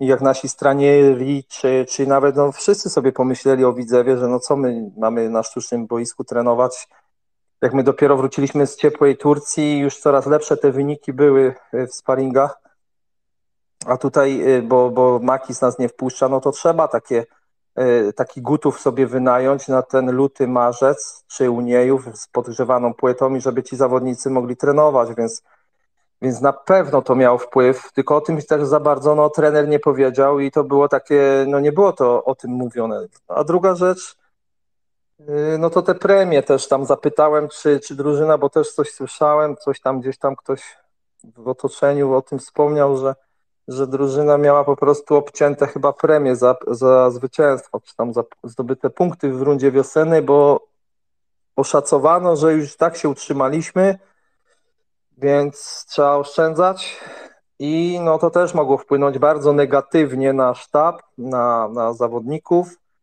E, no ale no przede wszystkim nam formy brakowało. Ja uważam bardziej, że formy, bo zawodnicy nie są aż tacy wyrachowani, że tylko ta kasa, ale no widać było, że my pierwsze mecze na wiosnę graliśmy naprawdę dobrą piłkę. Mieliśmy te sytuacje, często na te słupki poprzeczki, dużo sytuacji niewykorzystanych, a za przeciwnik nam strzelał to, co miał, tak jak taka warta. No ale później to rzeczywiście to wszystko jakoś siadło na sam koniec. No i ja tak ten sezon widzę. Jesień była zarąbista i myślę, że potencjał był tam wykorzystany w 90%. My wykorzystaliśmy potencjał drużyny i jakby to utrzymać chociaż w 75%, to serio wam mówię, tylko jeszcze ze dwa transfery, jakbyśmy zrobili Niec i Ganix, e, tylko ten Ramirez wtedy jakby właśnie doszedł, no tam było dobre myślenie, to myśmy mogli się zakręcić koło nawet tej pierwszej piątki, tak? E, no i tyle. Co więcej, my musimy troszeczkę się teraz wzmocnić i przede wszystkim zapewnić drużynie e, warunki treningowe, żeby tutaj był profesjonalny klub, nie rozkładać ręce, tak jak nas, nasz poprzedni prezes nam tutaj ciągle narzekał, że nie ma pieniędzy. No nie ma, ale to pan prezes mógł też o to powalczyć ze sponsorami. Pan Tomasz Stamirowski chyba po to zatrudniał też prezesa, żeby nie rozkładał rąk albo się tylko jakoś kłócił. No i tyle mam do powiedzenia. Więcej nie mówię, bo jeszcze mnie gdzieś będą szukać i wiecie, takie jest moje zdanie. I myślę, że będzie ok. No, budżet mamy bogaty, skoro pan Tomasz powiedział, że mamy ponad 40 milionów, już mieliśmy fajny, więc, e, więc, więc myślę, że trzeba teraz naprawdę zainwestować w drużynę, bo wiemy, że, że tutaj nie będzie lekko w, drugi, w następnym sezonie. Tyle. To ja, ja mogę w paru słowach tylko powiedzieć, że z większością się zgadzam, natomiast e, nie zgodzę się z tym, że tutaj dwa transfery e, do pierwszego składu i bylibyśmy, gralibyśmy o pierwszą piątkę. Myślę, że już w drugim sezonie tak łatwo nie będzie. Wręcz mam wrażenie, że będzie dużo ciężej, bo, bo jednak no, e, gdzieś już jesteśmy w pewien sposób rozczytani, nie ma elementu zaskoczenia, no chyba, że wydarzy się to, co ty wspomniałeś, czy, czy, czy Sławek, że nagle zagramy e, zupełnie inaczej na dwóch napastników, czy, czy po prostu zmienimy system gry, aczkolwiek wątpię. E, natomiast no, myślę, że będzie ciężej, e, bo, bo są przeciwnicy, którzy, e, no, którzy gdzieś tam już wiedzą, jak gramy. Trener też jest mocno trwa przy tym, co sobie wypracował jesienią i raczej tego nie zmienia. Oczywiście uważam, że zespół ewoluuje i, i, zmienia pewne elementy gry, bo jednak pamiętam sobie początek sezonu, gdzie traciliśmy, nie wiem czy pamiętacie, bramki z dystansu dosyć notorycznie. E, była to Pogoń Szczecin, przegraliśmy w ten sposób mecz. E, była to Jaga, gdzie straciliśmy w ten sposób chyba bramkę, jeżeli się nie mylę, mimo że wygraliśmy. E, ogólnie rzecz biorąc, y, traciliśmy bramki z dystansu i bardzo narzekaliśmy na to. Z pola karnego nie było doskoku. Trener to wypracował i faktycznie przestaliśmy te bramki tracić. Natomiast teraz na koniec sezonu znowu sytuacja się powtarza. E, kopiuj w klej, traciliśmy te same bramki z Piastem Gliwicem, e, z, chyba z, z Koroną, ta sama, tego, tego, sama, tego, tego samego typu bramka ale. Mm... Brak formy. E, Patryk, to jest brak formy, i tutaj właśnie tak jak mówimy, że, że brakuje tego centymetra, dwóch do skoku, jednego kroku. E, to jest właśnie niewytrenowanie zawodnika, bo, e, bo nie wiem, czy większość osób kojarzy, jak to jest, znaczy kojarzy, źle to powiedziałem. Nie wiem, czy, czy większość osób rozumie, czym jest trenowanie na boisku naturalnym, a czym jest y, odbywanie zajęć na, na, na, sztucznym, na sztucznej nawierzchni, na plastikowej. Y, chodzicie na Orlik, y, nie wiem, graliście pewnie kiedyś za dzieciaka na, na dobrej murawie albo chociaż na jakimś trawniku. To jest to duża różnica, to jest to ogromna różnica i to jest tak podstawowe, że, że po prostu nasza akademia też słabo wygląda też te celiotki teraz spadają i w ogóle, bo na plastiku nie wolno, no po prostu nie wolno e, mocno trenować, nie wolno robić ciężkich zwrotów, e, szybkościowych treningów, dynamicznych, ja bo mogę, się ludzie ja zajadą, tylko... bo sobie pozrywają wszystko i to ja jest proste. I dlatego tak to wygląda. Ja na sztucznej murawie też e, zerwałem krzyżowe, Także, no sam widzisz. Więc, także... więc wiesz, to się nie ma co dziwić zawodnikom, że oni nie będą się mocno tam wysilać na tych nawierzchniach, bo oni dbają o własne nogi, bo nogi się ubezpiecza na duże pieniądze, na ogromne miliony ubezpieczają sobie nogi piłkarze i tutaj zawodnicy jakby taki Fabio sobie zerwał znowu więc zadła, znaczy znowu miał przecież Achillesa, bo mu rakoczy wleciał, tak, u nas, to on był już tak y, ostro pojechany e, przez naszą ligę i tutaj jeszcze, co, wracają z Turcji, już przecież Fabio już był gotowy do grania, on już zagrał przecież nawet półtora meczu, tak? Ale jak zobaczył, że tutaj nie ma gdzie trenować, że trzeba znowu na plastiku, to on w ogóle odpuścił, powiedział, zasymulował, że go boli czy coś. Ja tak domniemam, tak? Ale ja jakbym był w jego miejscu, na jego miejscu, bym też tak zrobił mimo wszystko. Ja nie wiem, jakbym się zachował. Natomiast w jego wieku, ja wiem, że to jest troszeczkę nieładnie ze strony zawodnika, natomiast w jego wieku on jest naszym najemnikiem tak naprawdę, też nie widzę jakim, ale w jego wieku jakby on sobie zerwał tam więzadła, to ma po karierze facet, bo to ma 30 lat on, zanim on dojdzie do, y, do zdrowia po, po, takim, y, po takiej kontuzji, to, to jest też na chybił trafił, bo może już nie. I to już jest dla niego koniec zabawy i zarabiania z tytułu zawodnika, tak? Więc oni musieli oszczędzać się, czy, czy w Jordi, czy i wszyscy tutaj, y, wiecie, tam musiał siąść też mental, bo już nie chodzi tylko, że nie wytrenowanie tutaj, że no nie wytrenujesz, jak nie będziesz ganiał mocno na naturalnej nawierzchni, nie będziesz robił ciężkich treningów, to później nie będziesz miał z czego, niedoładowane akumulatory. Ja trenowałem w wielu klubach, grałem w piłkę, mam swoje uprawnienia, nieważne, natomiast to jest, to jest proste i i później z tego nie będziesz miał z czego czerpać na koniec nie, już no właśnie jasne, rundy. Mieszko, wiadomo, że naturalna murawa, a sztuczna to są dwie różne bajki i tak. i dobra, słuchaj, tak już zostawmy, już jest 20 No tak, tak, nie ma się co patrzeć. No i... Będziemy kończyć. Tak, dzięki, dzięki, dzięki za głos. Pozdrawiam wszystkich. No, Cześć. No, dzięki, dzięki, zapraszamy Cię ponownie. Dziękuję, Słuchajcie, hej. będziemy sobie już kończyć, już jest późno, pewno każdy z Was ma jakieś tam swoje obowiązki jutro. Myślę, że pogadaliśmy e, na wiele tematów, poruszyliśmy wiele kwestii, jeżeli chodzi o ten miniony sezon, jeżeli chodzi o przyszły sezon.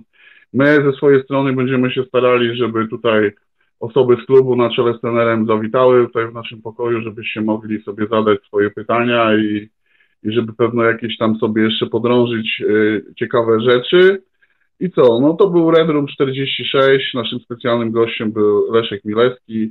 Pamiętajcie też o tym, że mamy kanał na YouTubie, tam też możecie pokoje odsłuchiwać. Lajkujcie, udostępniajcie.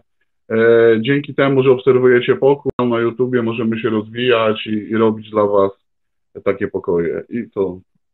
Dzięki, Dokładnie. cześć i do widzenia. Był, był to Widzę Fredrum 46 z Leszkiem Mileskiem i oczywiście z nami i Wami. E, następny pokój pojawi się pewnie jak dostaniemy e, osobę, o którą gdzieś tam zabiegamy od dłuższego czasu. Jest zmiana w zarządzie, dużo dzieje się sytuacji e, w klubie w ostatnich tygodniach, które, które wpływają na to, że e, będą pojawiać się pewnie też inne osoby, także teraz jest sezon, sezon ogórkowy, czekamy na info z transferami. E, jak będzie coś wiadomo, kto ma się pojawić, to będziemy informować z odpowiednim wyprzedzeniem, także dobrej nocy, dziękujemy Wam, dziękujemy Leszkowi, dziękujemy wszystkim, którzy zabierali głos. Nie zapomnijcie oczywiście o polubieniu naszego profilu, udostępnieniu audycji i, i to tyle. Do widzewa i dobrej nocy, trzymajcie się.